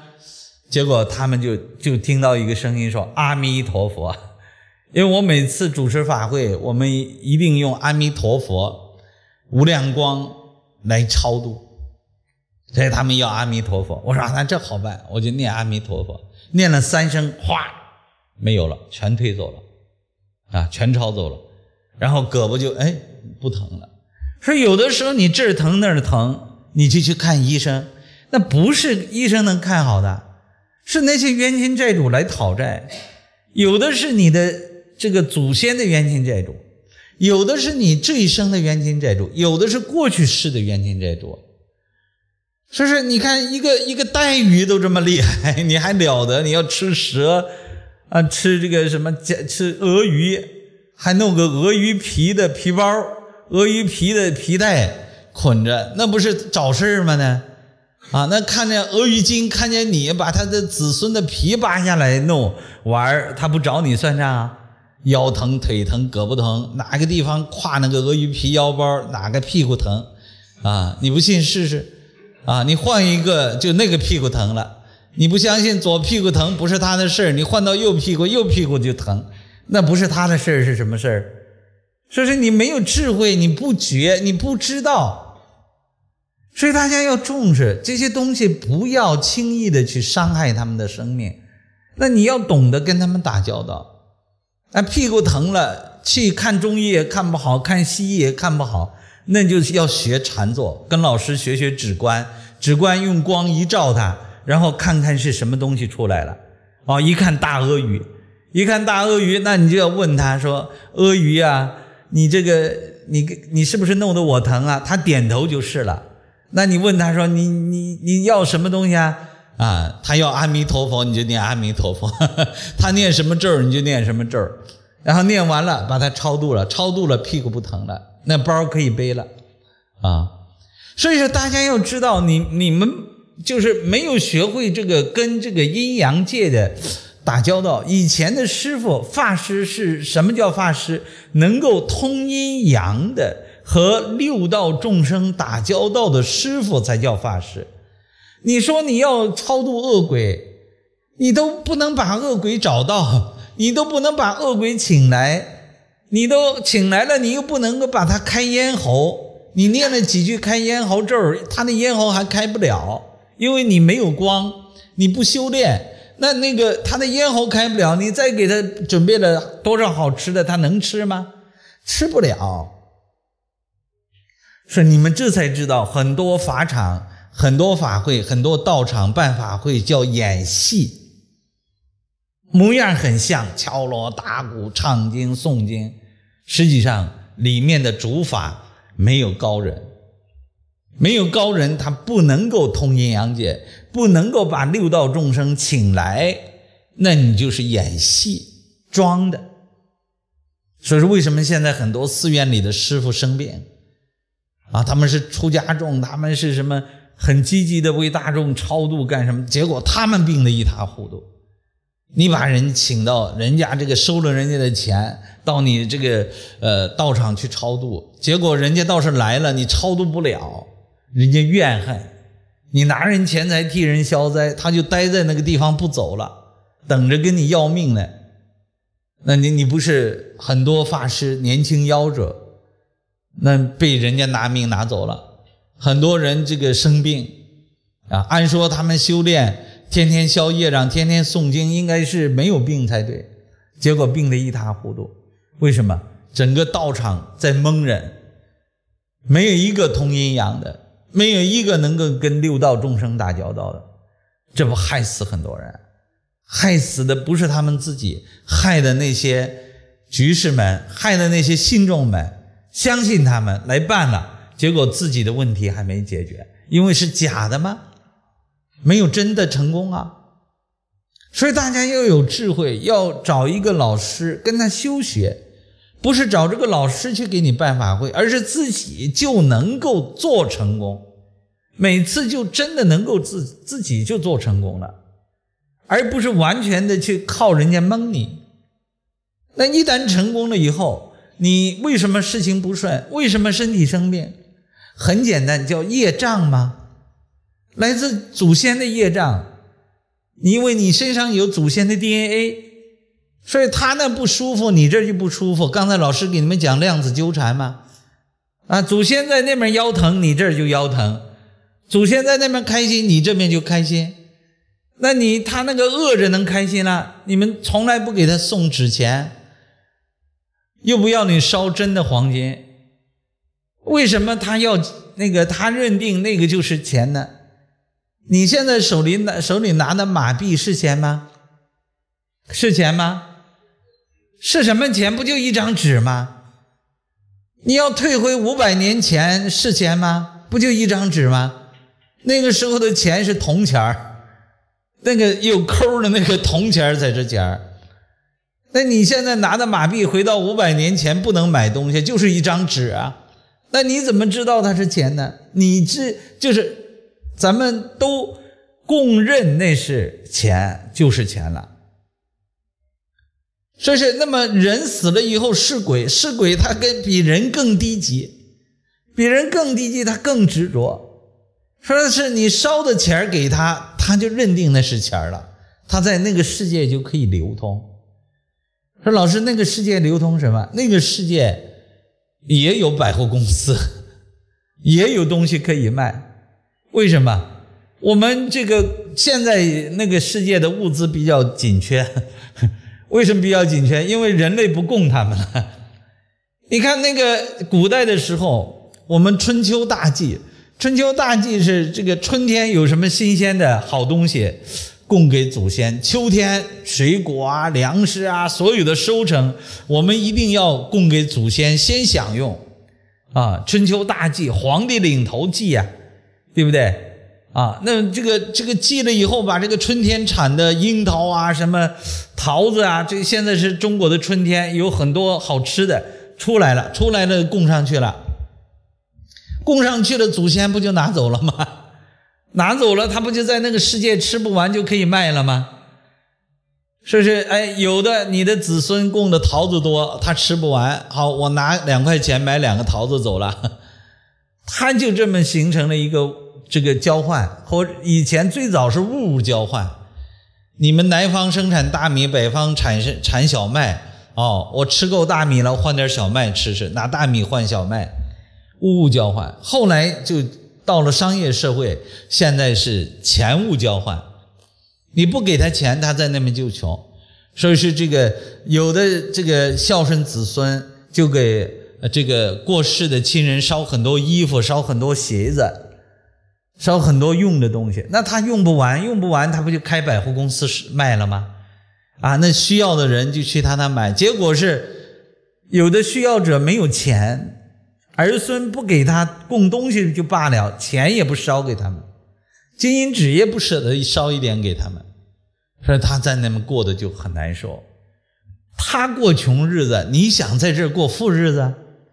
你的祖先在那过穷日子，天天哎呀妈呀咿呀的，穷的要命。所以说你这一辈子怎么可能富贵了呢？为什么你身上有他的 DNA 呀？他那不好，他弄着你就不好了。不是他要这样，是因为你应该孝顺他们。每个月拿个三十五十块钱，对你就那么困难吗？拿个三十五十块钱就可以换成几百亿呀？你们现在钞票都很大嘛，冥币都很大嘛，对不对？烧点黄纸啊，金金银纸啊，有那么难吗？烧给他们，他不就得到了吗？得到了，他在那个世界不就能用了吗？这是老子的五中化油的技术，什么意思？那你这个世界买了一堆金银纸，烧了，这个世界还有金银纸了吗？没了，被你烧了。烧了以后，它转换成什么了？能量。物质跟能量的转换还有很多方方式，其中烧是一种方式，就是这个世界我把它烧了，在另一度世界暗物质、暗能量世界就多出了一堆能量，一堆能量到祖先那儿，他想要什么，他转换成他要的东西了。你布施给自己的祖先，布施给冤亲债主，孤布施给无嗣孤魂，啊，那他在那个世界，这些能量拿到了，就可以去买东西了，是这个道理。这是老子所说的“无中生有”，万有都是这样化变的。你的钱哪里来的？你的钱也是你出劳力、出体力、智力。无中生出来的，对不对？那就是你吃出体力、出脑力，消耗不消耗你的能量啊？那当然是消耗你的能量，能量转化成的叫能力。说这个人的能力很高，给他一万的薪水；这个人的能力很低，给他一千的薪水。你的钱都是能力化、能力赚出来的，能力是能量转换成的力量，就是这个道理。都是能量，说是这个世界职能守恒，就是物质跟能量是守恒的，物质没了变成能量，能量需要的时候转成物质，是你的能力，也是能量的展现。说是这个现代物理学早都给出答案了，说你这辈子没有钱，上一辈子没存钱，为什么没存钱？上一辈子你做地产商，你这个一千个亿变成了一千个亿美金。都存在上一辈子了，存成一个亿的话，它变成银行存折，变成钞票，给你的儿孙拿走了，你一分钱没有，他也不烧纸给你，你倒霉呗。因为你不信吗？说是你都不烧，他怎么会烧纸给你？那不就问题来了吗？说在那你不烧纸给你，你这个你你那个死的那个守尸鬼那也穷。你转换成天地的魂魄，再转世的也穷，因为都上一辈子能量都被你花了。所以现在有一些人没有智慧，拼命的攒钱、攒钱、攒钱、攒钱，把你的能量都转成现金了。等你死的时候，账上有很多钱没花，几百亿、几千亿、上万亿没花，你太惨了。说是我们修行人懂得这个职能守恒定律。职能转换定律，我们手里有多的钱，赶紧干什么？办法会烧了，不是烧钱，是烧成物。这个去供了，供诸佛菩萨上供了，转成能量了，给四圣法界了，给鬼神界了，给天人了，给阿修罗了，啊，给六道众生上供了。然后好买金银纸画了，啊，你们整天画啦画啦是画了。啊，画了再画了，啊，你不画没发不了，你画了就变能量了，变能量你需要欠钱的时候，它就变成钞票了，不就发了吗？啊，所以你们这个念哗啦，实际上是化了的意思啊，所以说这个要化了才发了，就是要懂这个道理，就是转成能量了，哎，人家感恩你，你给孤魂野鬼无嗣孤魂没人供养哎，他很惨。突然有个人照顾他，哎呀，他这个感恩呐，心里感恩的不得了啊！那这个感恩就变成能量了。那他的感恩十倍的感恩，他就你给了一块，他就变成十块了；他一百倍的感恩，那给一块，他变成一百块了。这个能量可以转世，能量守恒。所以我们赚能量是这样赚，帮助那些没人照顾的无私孤魂。那么八难横死的恶鬼道的恶鬼，都去帮助他们，他们感感恩变成能量。你是拿了五十块、一百块不起眼但是这一转成的巨大能量回馈你的时候，那你就多了五百块、五千块、五万块。是这样的一个道理，说这样才能越来越富贵，日子才能过得越来越好。这个叫众人拾柴火焰高啊，就是帮你的人太多了，你一次雇了供了那么多无私孤魂，供了那么多的孤魂野鬼，都来帮你。你看这多少人帮你啊？说你走夜道，那些冤亲债主鬼厉还想害你，结果遇到一个孤鬼，他一看，哎，这个是我的恩人，我赶紧上去保护他，然后你的危难就没了。所以是不然的话，人家要害你，冤亲债主要害你，那孤魂野鬼看着哦也不管，为什么跟他没关系啊？你也没你也没帮过他啊。所以大家要懂。我们不是光是人帮人，而要鬼帮人，要神帮人。昨天我给他们讲那个愚公移山的故事，一个老头要把两座大山搬走，要靠人的力量，那要多久才能搬走啊？结果山神被感动了，一夜之间两座大山呼就飞了。说是人太牛，老是觉得我自己能，我自己帮自己，不是，你要让神来帮你。神来帮你的时候，那个力量有多大？你自己帮自己才有多少力量？所以说，我们福建人为什么会大富大贵？很多人大富大贵，那是天公帮你的忙啊！玉皇大天尊呐，他管谁啊？那天上所有的神，他归他管。对不对？那你走哪不都有神护着你啊？因为你天天去玉皇那儿去做客，什么意思啊？玉皇大天尊过世，呃，正月初九是他的圣诞，啊，结果你被邀请去他家里喝喜酒，啊，那你是他的尊座座上宾呐。我们现在马哈迪过生日，你能上他的那个寿宴上去喝酒吗？去不了吧？但是玉皇大天尊说：“谁愿来我都要啊！”结果你老人家不正月初九不给他上供啊，不给他过生日啊！你人家邀请你去，你没去啊？去的人那天神都认识啊！哎呦，这个人不了得！这个咱们大天尊过生日的时候，他是座上宾，那别惹他，对不对？那肯定是重要人物啊！说是你们福建人。闯全世界都可以走得走得透，都可以成功，是这个秘诀。带着这个玉皇天尊的圣旨护着自己，这是你们祖先给你们最宝贵的财富，坚持下去。说我们现在在新加坡、马来西亚，每年正月初九我们也办，啊，我们也办，哎，好用，越办我们的道场越火，越办我们的钱也越多，越办我们的事儿也越来越顺。啊，我是山东人，之前不懂啊，这是到你们这现学的，感谢你们啊，给你们个掌声，好吧？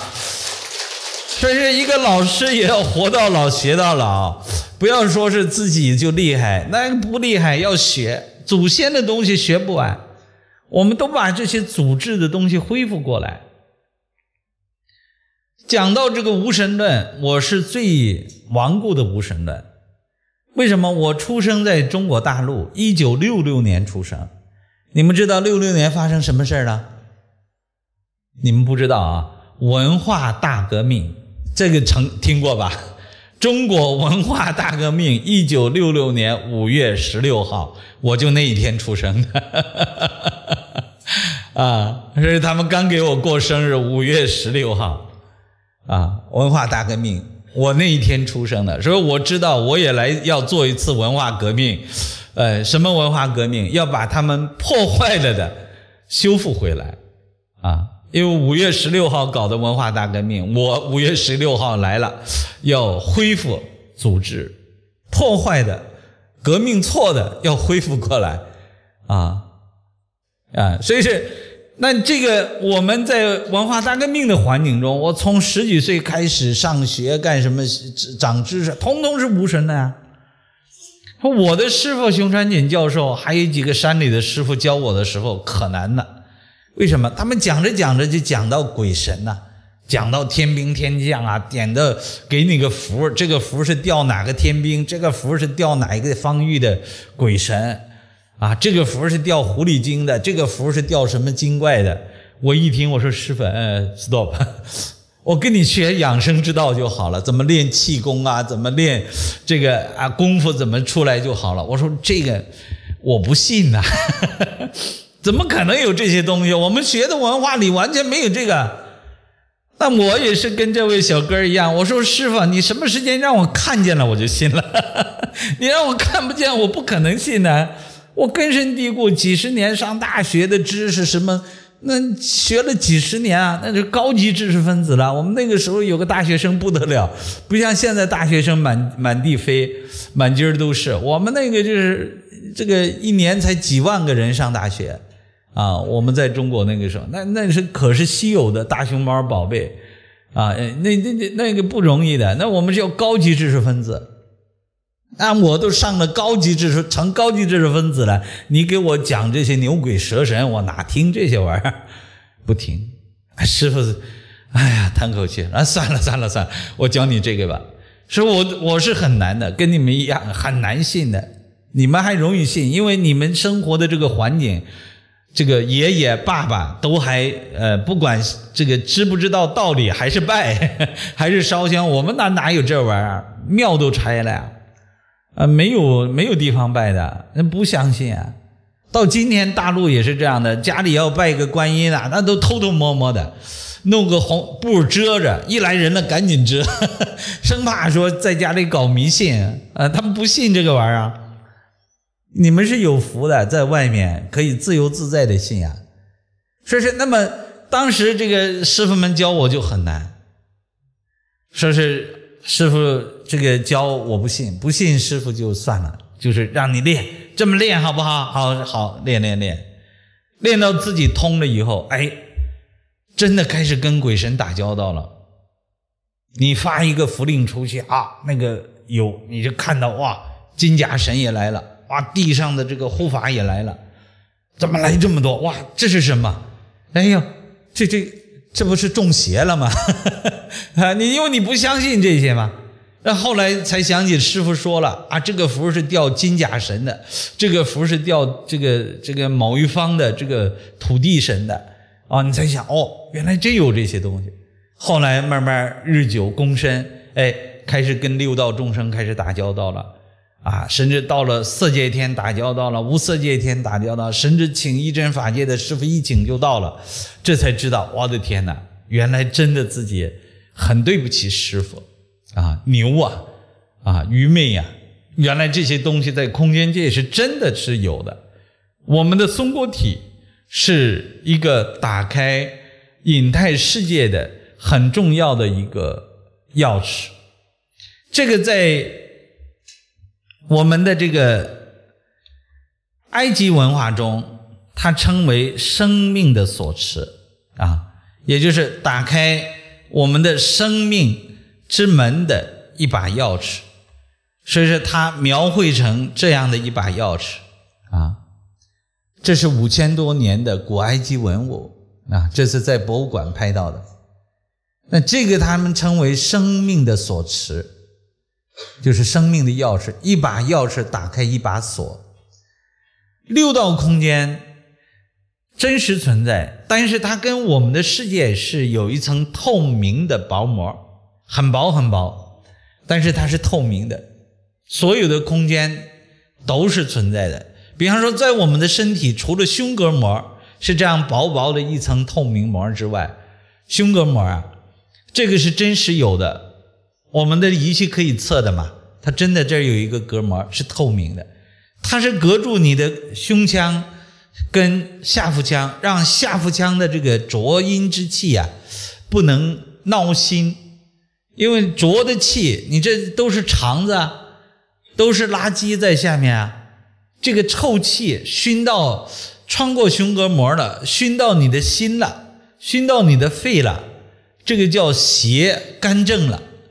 你叫我们叫闹心，弄得你心里不舒服，弄得你肺老咳嗽，这就是胸膈膜质量不好，太透气儿了，它就穿过来了，密度不够了，光不够了，密度不够了。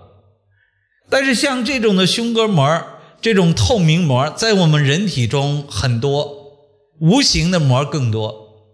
那这无形的膜在哪里呢？一个是在肚脐这个水平线这儿有一层膜，是眼睛看不到、仪器不可测的；一个是喉这个地方有一层膜，这个脑这个地方有一层膜啊。那么头顶还有一层膜，总共是七个膜，七个膜叫七轮，在在密宗里面叫七轮，它分成了你的天地人三才啊。分成了天的十八重色界天，是从胸膈膜到喉啊这个上丹这个地方。那么这是我们的色界十八重天。四空天从我们的舌上去，颅脑腔是四空天；从我们的头顶百会出去是一真法界。再往下，胸膈膜下面到你的肚脐上面是六余天，然后。肚脐下面是十八层地狱，说整个的我们的外面的世界全息的在体内，说是我们是小宇宙，就是外面的是一个大宇宙，我们人体是小宇宙。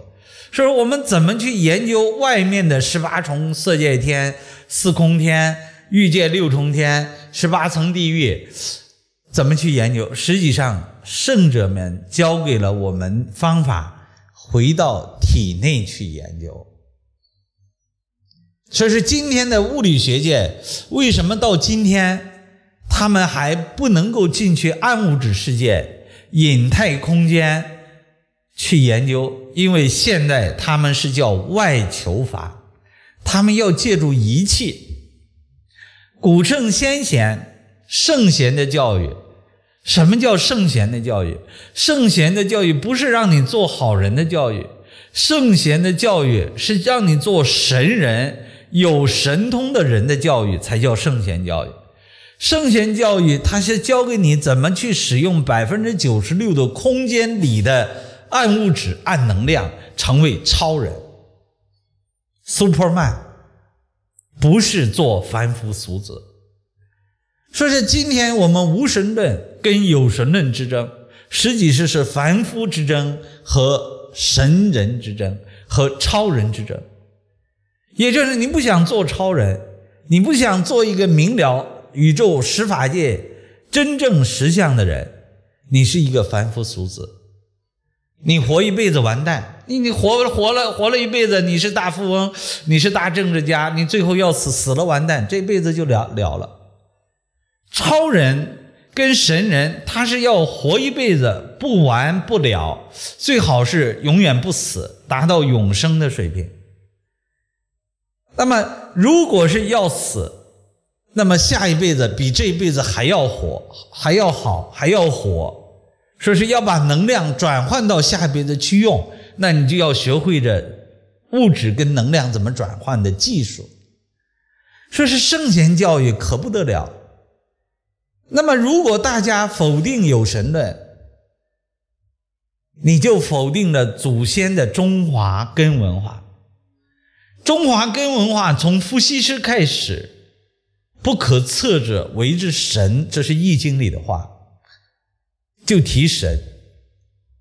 从黄帝时期，炎黄子孙的黄帝的黄，问道于广成子，最后乘飞龙而御天。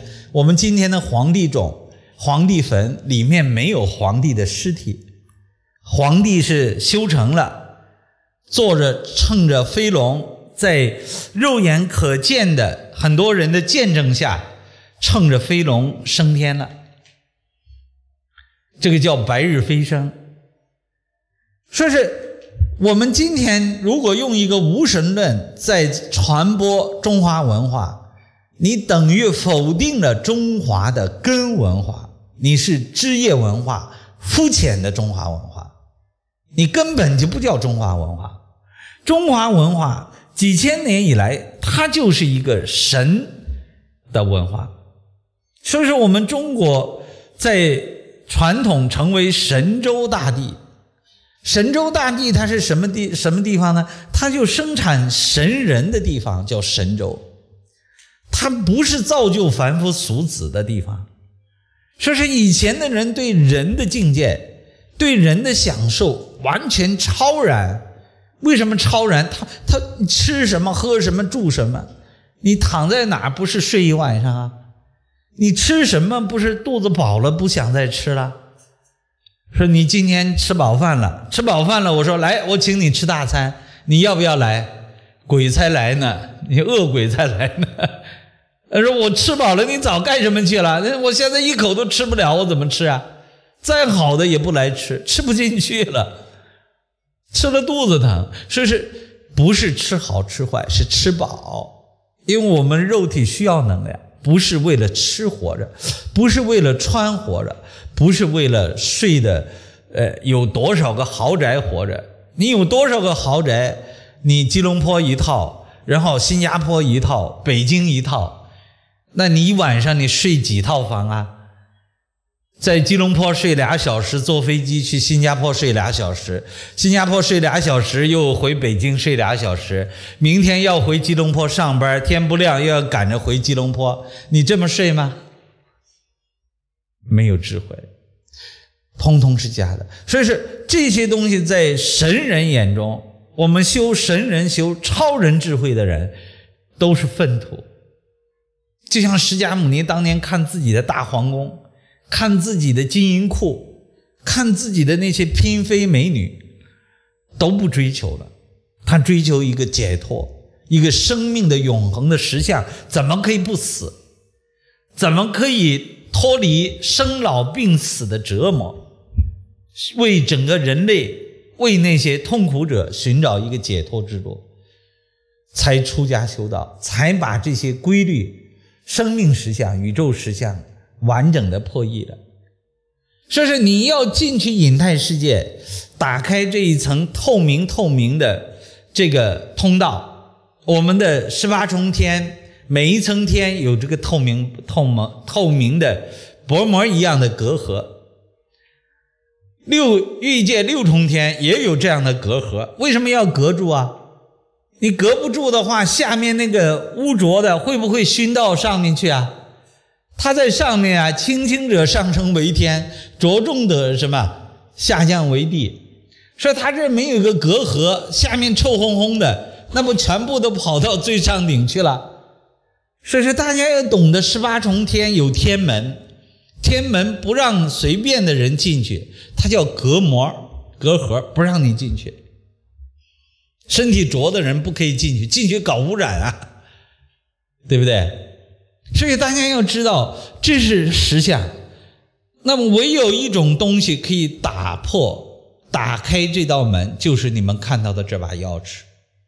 这把钥匙是激活松果体，使自己内在产生光的技术方法。它是指观术的观，记指了以后，退掉人的意识，进入第九重意识。我们人有八重意识。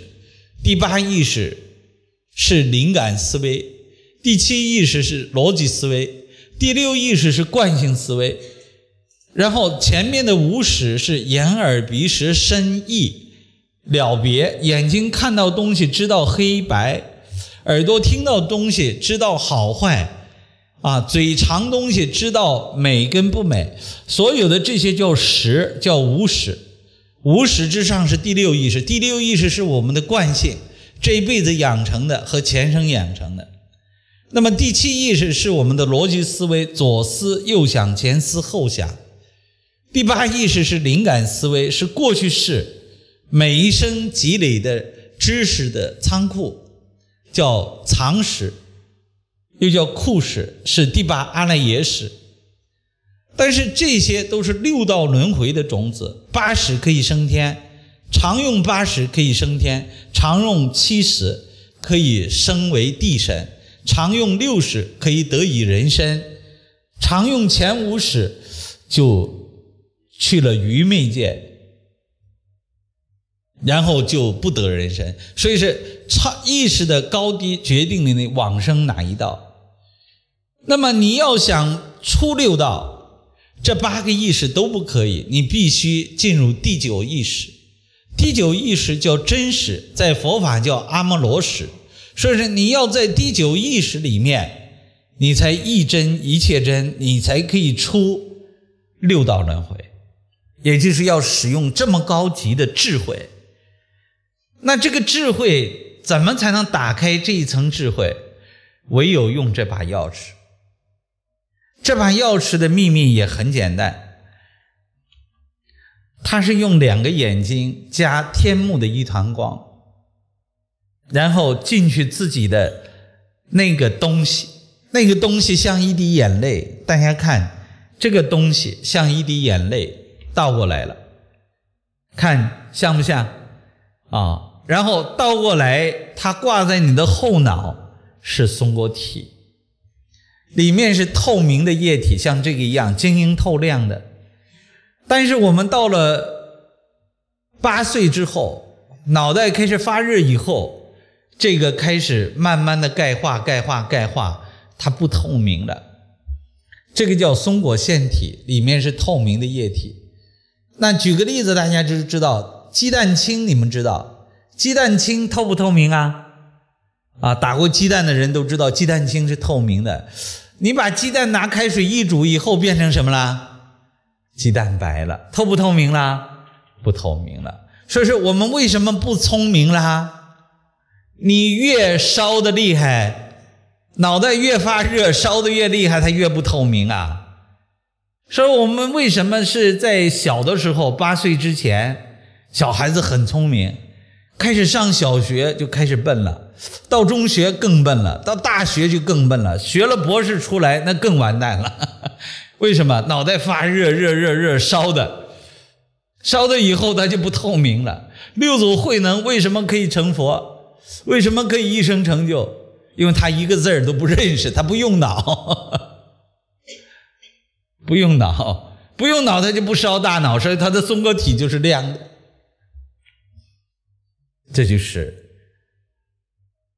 钥匙怎么打开？已经钙化了怎么办？老子说：“用其光，富贵其民。”我们的左眼是日，右眼是月。中文字的名怎么写的？日加什么？月。说要日月同辉，什么意思？就左眼右眼要放在一个点上，放在哪个点上？放在这儿。日月同辉，刺激生成的光。一个日是阳，一个月是阴，阴阳放一块儿会生成什么？电火花。一个阴电子，一个阳电子放一块儿，不是电火花吗？所以你们开汽车知道，汽车没电就是死的，汽车有电就是活的。汽车的活是因为你打电的时候怎么样？阴电跟阳电怎么样？啪啪啪啪啪啪啪，放出很多电火花。这个时候。电火花在的油缸里面，所以你一喷油怎么样？啪，这个油着了，着了以后形成的热量驱动汽车行进。所以说没这个电火花就是死的，有电火花就是活的。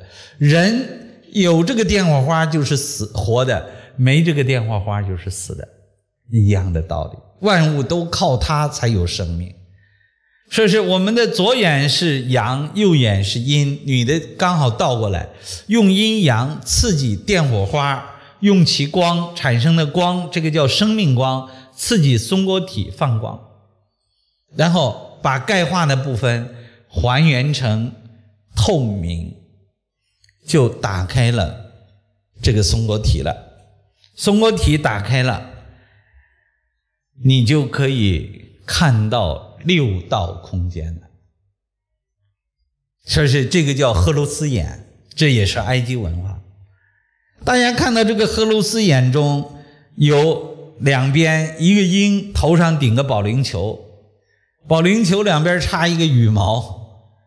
那么这边一条蛇，蛇上面戴着一个帽子，帽子上面有三三圈半的东西在转，鹰脚下也拿着一个三圈半的东西。然后，这个一个整个的一个大秘密，就是怎么激活第三只眼的秘密。第三只眼的激活一定要靠灵蛇，灵蛇一定要出在海底，所以是它里面有水。你看那个蛇肚子那儿是不是有水？水下面是火，红色的。这个在中国叫水火什么？寂寂，寂寂。水火既济可以把金化成气，可以把气化成神。神，我们精神是炼精化气、炼气化出来的神，你才有精神。说这个人没精神，是因为气不足；气不足是因为精不足；精不足是因为五脏光不足，五脏精华不足。说你的精就不足。说是怎么使五脏光光鲜起来，产生五脏精华，五脏精华聚起来形成精，精又化成气，气化成神，哎，脑袋聪明了。所以说他一定最后这一股子光要上到你的颅脑腔中央去。所以是你看舌顶上一个帽子啊，那这个老鹰才有意思，为什么爪子上抓了一个三圈半？那个是你的会阴穴，会阴穴里面有一条灵蛇盘曲在那个地方，这个叫灵蛇，就是昆那利。这个在印度密宗和佛教密宗都要练这个，要把这个抓搓击抓开，里面的那个灵蛇起来，出现三个孔喷火，你的灵火肾中真阳就升起了。肾中真阳升起了以后，然后你的灵就可以飞了。说是大家看到那个老鹰头上的保龄球，它不是个保龄球，它代表你的身体。你看一个脑袋一个身体，像不像个瓶子啊？一个脑袋一个身体啊，然后这不就是那个你整个的身体里面的那个真的我就飞升了，飞升了以后。怎么知道它是飞升？说有两个翅膀啊，两个羽毛啊，他就告诉他会飞。所以是希腊文化、古埃及文化，整个就是一个生命文化。是什么生命文化？是智慧生命文化。大家知道，不是我们做一个宗教徒就完事儿了，而是要从佛教智慧、伊斯兰智慧、埃及古文化智慧。人类有史以来的文明产生的结果中，寻找使自己的生命能够升华的智慧，使我们变成智慧生命。智慧生命跟愚昧生命的区别在哪里？智慧生命可以获得极乐、快乐、永恒。没有智慧的愚昧生命会在六道中生死轮回，生死不由自己去做主。智慧生命可以控制自己的生命，可以道驾慈航来此世界普度众生。这是智慧生命和愚昧生命的分水岭。所以说，人都是愚昧生命，没有达到真正的智慧生命。说是在《西游记》里面，他用了一个人物来表述，这个人物就是猪八戒。大家看猪八戒长了一个什么身体啊？猪的身体啊？猪八戒长什么身体啊？人的身体。猪八戒他是 直直着走路的，什么脑袋啊？猪的脑袋。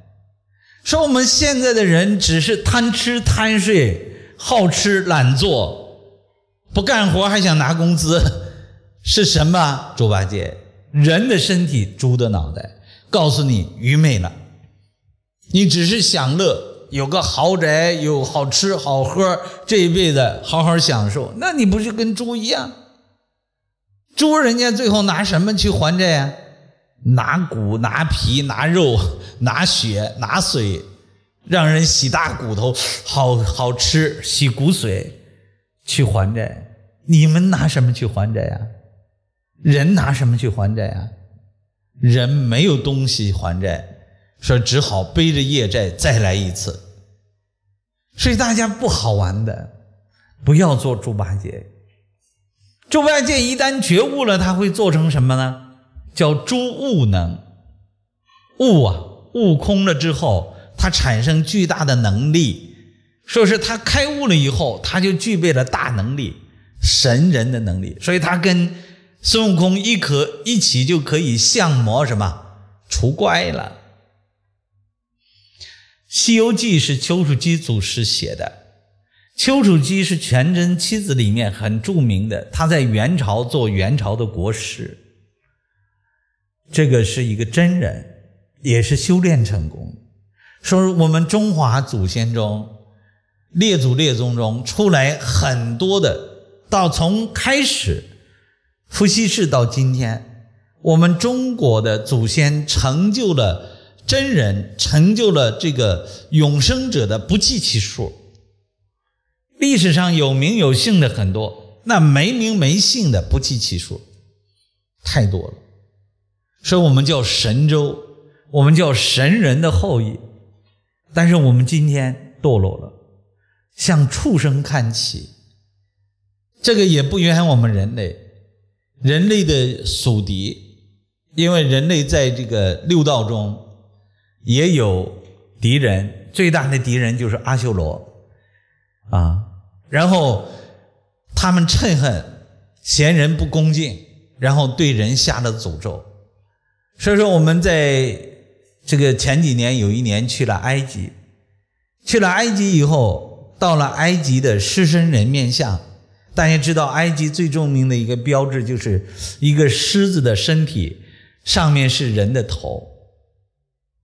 大家一直猜不透，只是说人类呀，在远古的时候是长这样的，人类是进化来的，是从动物进化来的，证明达尔文的这个进化论是对的，实际上大错特错，没有人解码。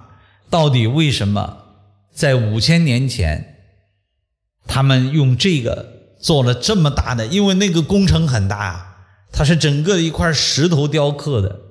如果它没有重要的意义，向我们后代人类传递着重要的信息，它不需要搞那么一个东西。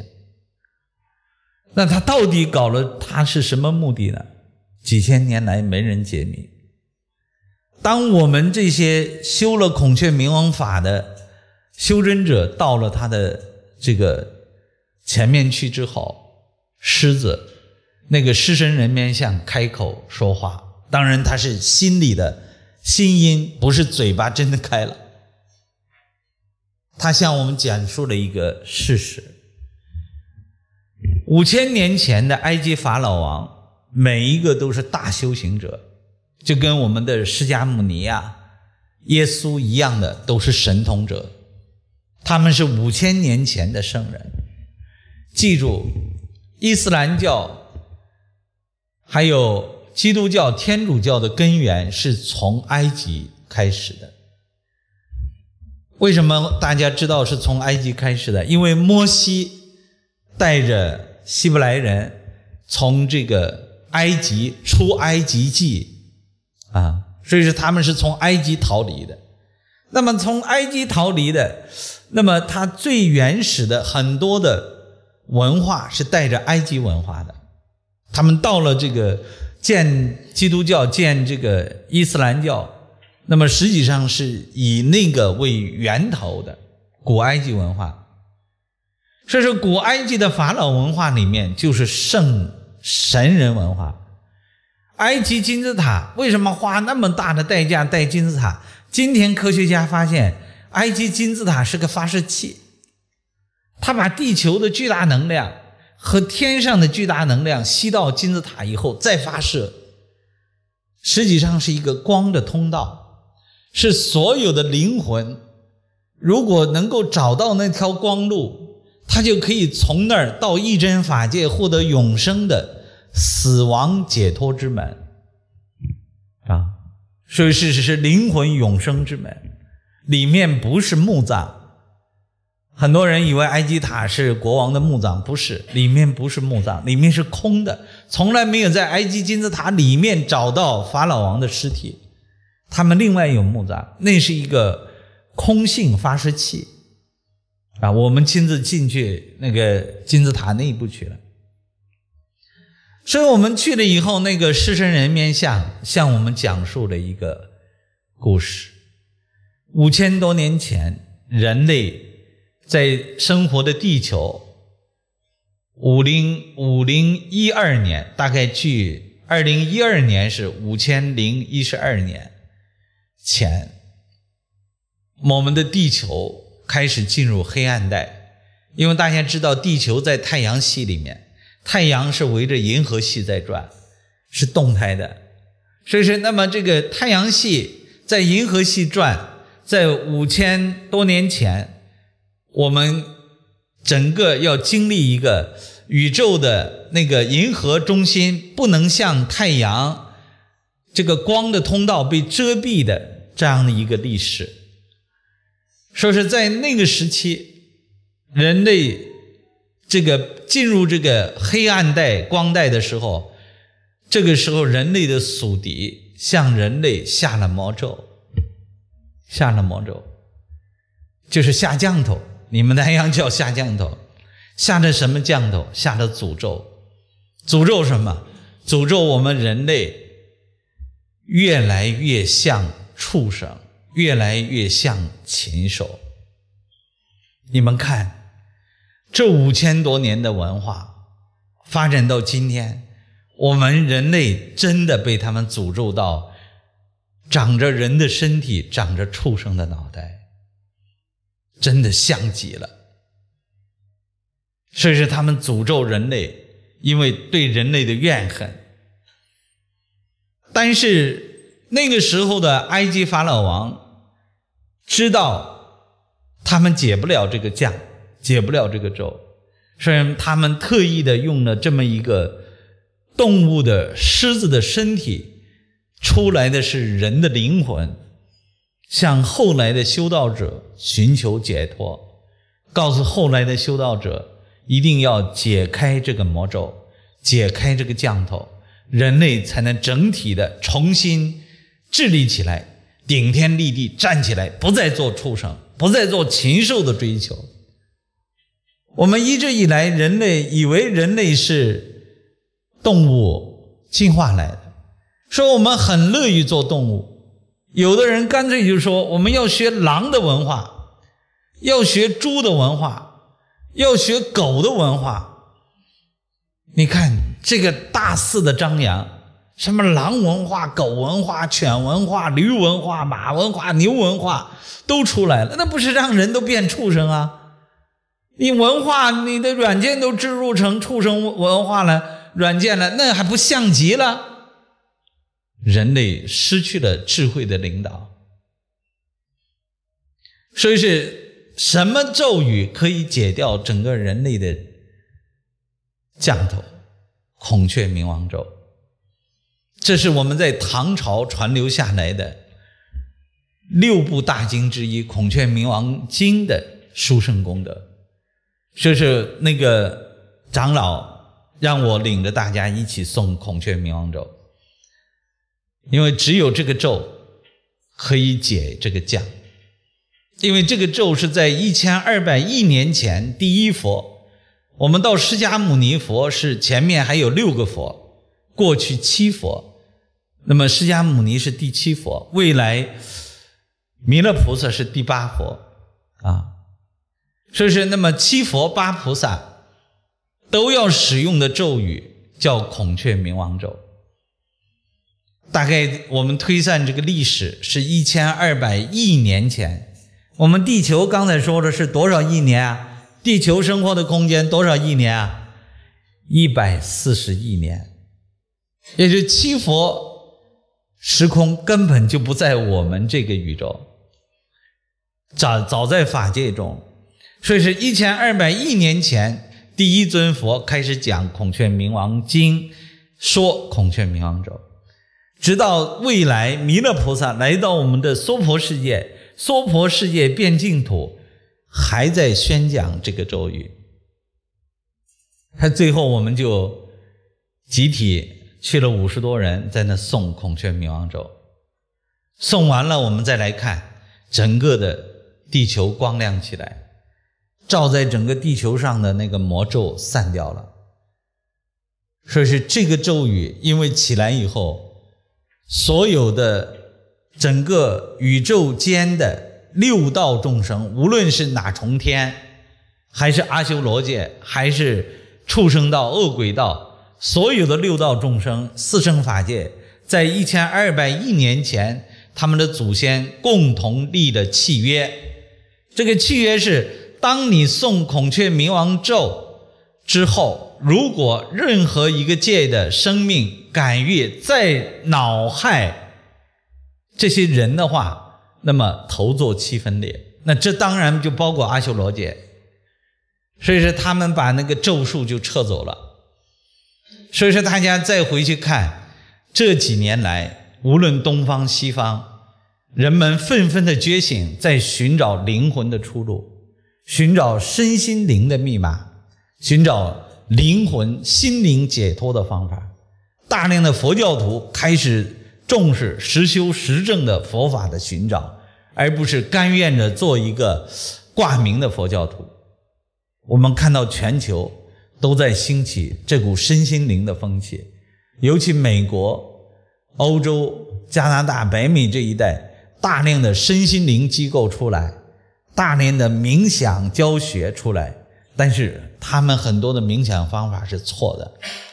啊，这个将来在相关课程中再给大家分析，今天不能分析。真正的冥想方法。就是首先要激活松果体，这个松果体的重要性，不是今天的人类才认知的。今天的西方已经知道松果体重要，但是不知道方法。他们是吃这个喽，吃那个喽，可以解这个激活，胡说八道。只有一个方法，已经钙化的部分，只有用生命光才能激活它。生命光的来源是你内在的左眼跟右眼的日月内日月，加上天幕的一点光往里走，就可以激活自己的松果体，使钙化的部分通通还原成透明体。说这是一个这个古老的权杖，这个古老的权杖上雕刻着两个眼睛和松果体。那么，并且它是交叉的 DNA 螺旋，也就是他已经发现左眼跟右眼睛的视神经是交叉的，左眼看东西在右后脑成像，右眼看东西在左后脑成像。要通过这个，把左眼的光要右后导，右眼的光往左后导，然后交叉在泥王宫，最后再通过泥王宫向后走自己的颅骨。枕骨的反射才刺激到我们的松果体。松果体在哪里？松果体在我们脑后。如果从前面根本没有办法激活松果体，因为前面有脑组织把它断阻隔了。所以只有通过视神经到后脑勺这个部分，在用后脑勺的这个枕骨是个光滑平面，它可以激活。反射折射，所以说今天的科学家发现，我们的成像地方居然在后脑勺老师讲课都是用科学，不是用宗教啊。但是宗教的智慧，它高超在于经典几千年来没人敢改，所以大量的经典中记载的技术方法，像我们这种实修实证者可以把它拿出来。别人看不懂，我们一看就知道窍诀在哪儿，因为我们实修实证出来了。所以说，大家看今天的科学家发现的视神经反射区在后脑勺这个地方，为什么他们不知道？实际上，因为两个眼睛往后看的时候，我们后面有个枕骨，这个枕骨有一个场，像一个镜子，叫反天镜，说在那儿可以影像出图像来，啊。然后，那么它这个镜子还有反射功能，说是镜子的反射功能刚刚反射出来，可以变成一个激光束去刺激自己的松果体。从后面啊，从这个，从这个后面枕骨这个地方来的刺激松果体，光直射。才刺激松果体，从前面的眼睛正面都有什么？都有隔阂啊，都有隔阂，刺激不到，刺激不到。这就是古代的反观内视的方法，很厉害啊！祖先们真的很厉害，早都发现了这个秘密。但现代人两个眼睛就去捞钱啦，看美女啦，啊，看这个什么手机啦，啊，整天的就往外放，往外放，不知道往里来，不知道往里去，不知道刺激松果体，使它重新光亮。说是你的那个眼睛打不开，说是松果体就是这样的一个结构。那么在梵蒂冈有一个松果庭院，它用两米高的这个青铜，用青铜做了一个两米高的松果，两边两只孔雀。也就是说，这个松果体如果能够激活，你就可以大名。所以是叫孔雀佛母啊，明王尊啊。那在远古的时候，人类都是有同样的秘密的。所以说，那么这个松果在欧洲这个松林子里面到处都是，没什么值钱的。他为什么要锯一个两米高的用青铜？那么古的时候用青铜锯一个呢？你想他在告诉你什么东西？说你要成为永生者，你要上上帝的乐园，怎么才可以去？你的灵怎么可以再飞上去？激活松果体。然后，这是在德国科隆大教堂的铁门上面，他用青铜锯的一个人跪在那儿，手里拿着一个松果，眼睛凹进去，所以大家就知道这是什么。这也是告诉你修松果体啊，修松果体。所以是整个的生命的锁词怎么去打开？这一滴眼泪实际上是松果体啊，实际松果体。你只有打开松果体，你就可以跟六道众生相沟通，可以穿越六道空间，收拾六道灵光。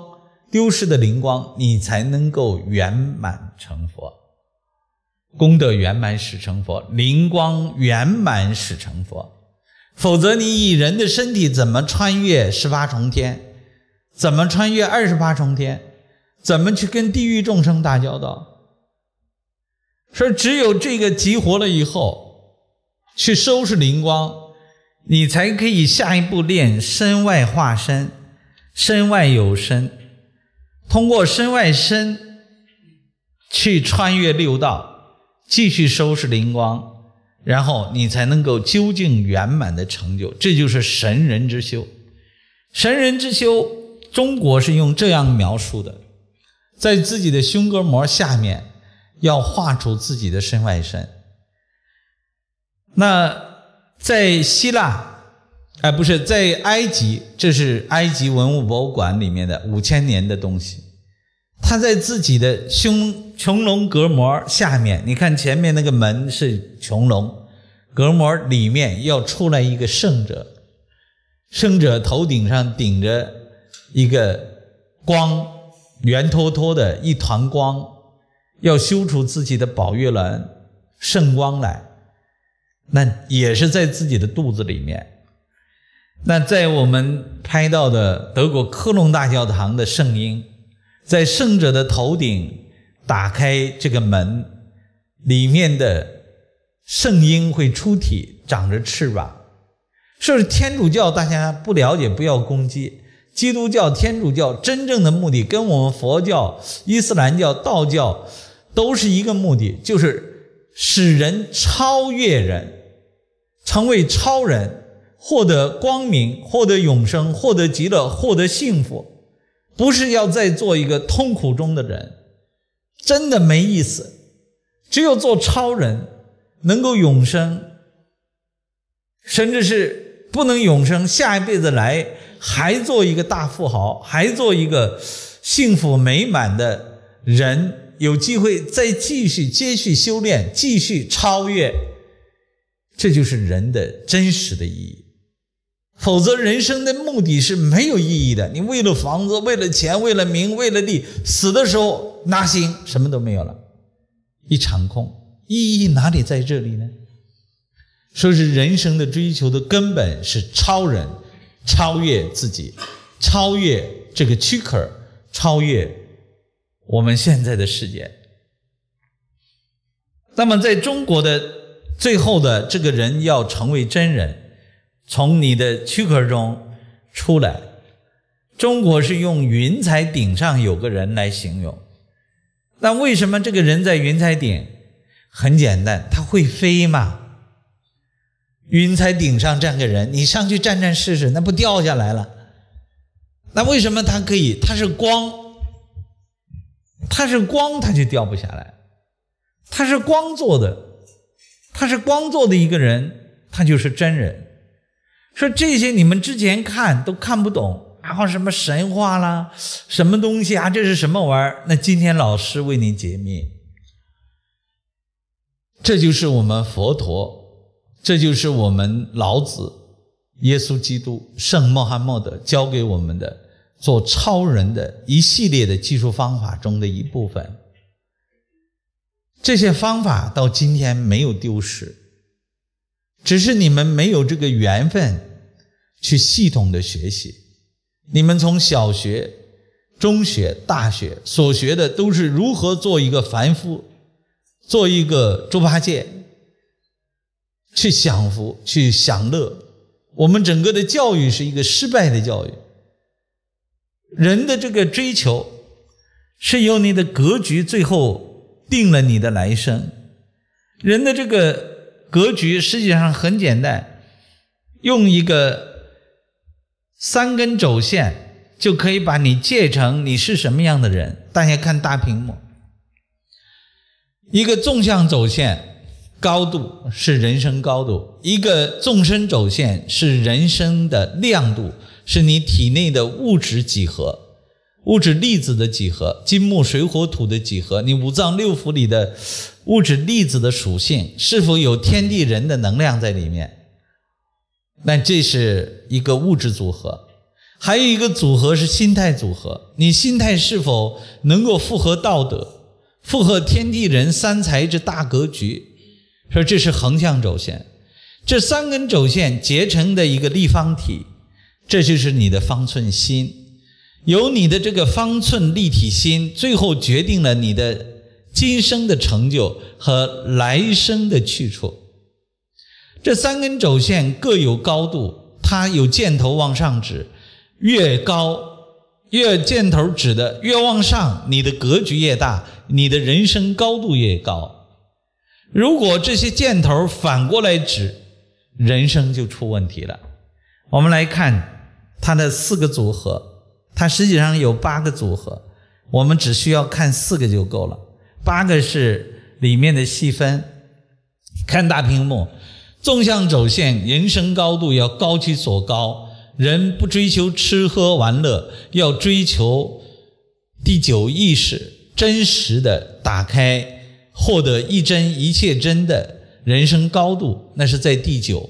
从第一到第八，这是。从畜生道到人道，到地神，到天神、天道的修行方法，然后横向轴线是道德轴线，你遵守心态调到为别人着想，遵守仁义礼智信的人伦道德，遵守天地人的大格局，这个时候出现了一个红的区间，因为你的心态是正的。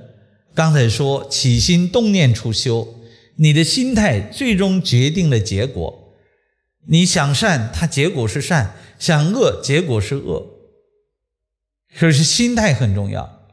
那心态和自己的意识、思维能力、思维高度，最后决定了你的人生，决定了你体内储存了什么样的物质，是死猫还是活猫。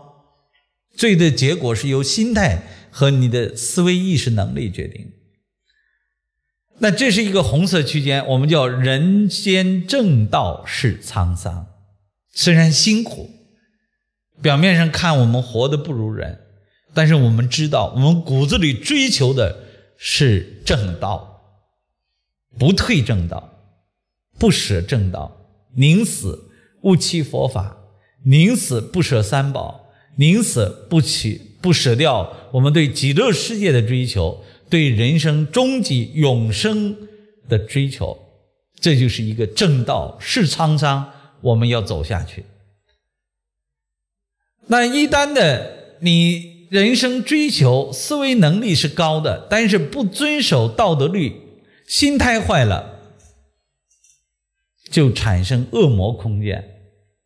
你最后得到的是恶魔的果子，因为你心态产生了恶变，产生了毒。所以大家知道，中国有一个毒奶粉事件——三聚氰胺、三鹿奶粉。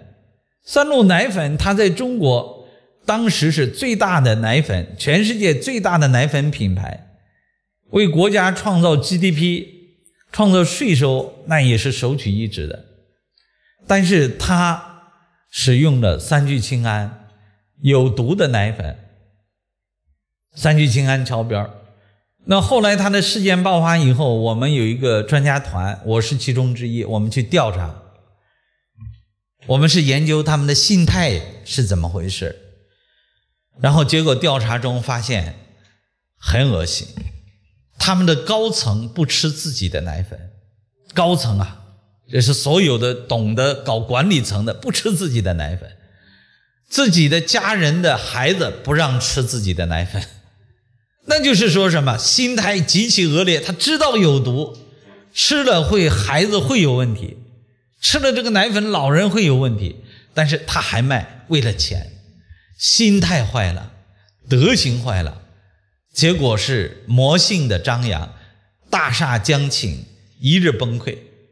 说董事长差点被枪毙了，最后是最高领导人出力说了个话，判了个无期徒刑。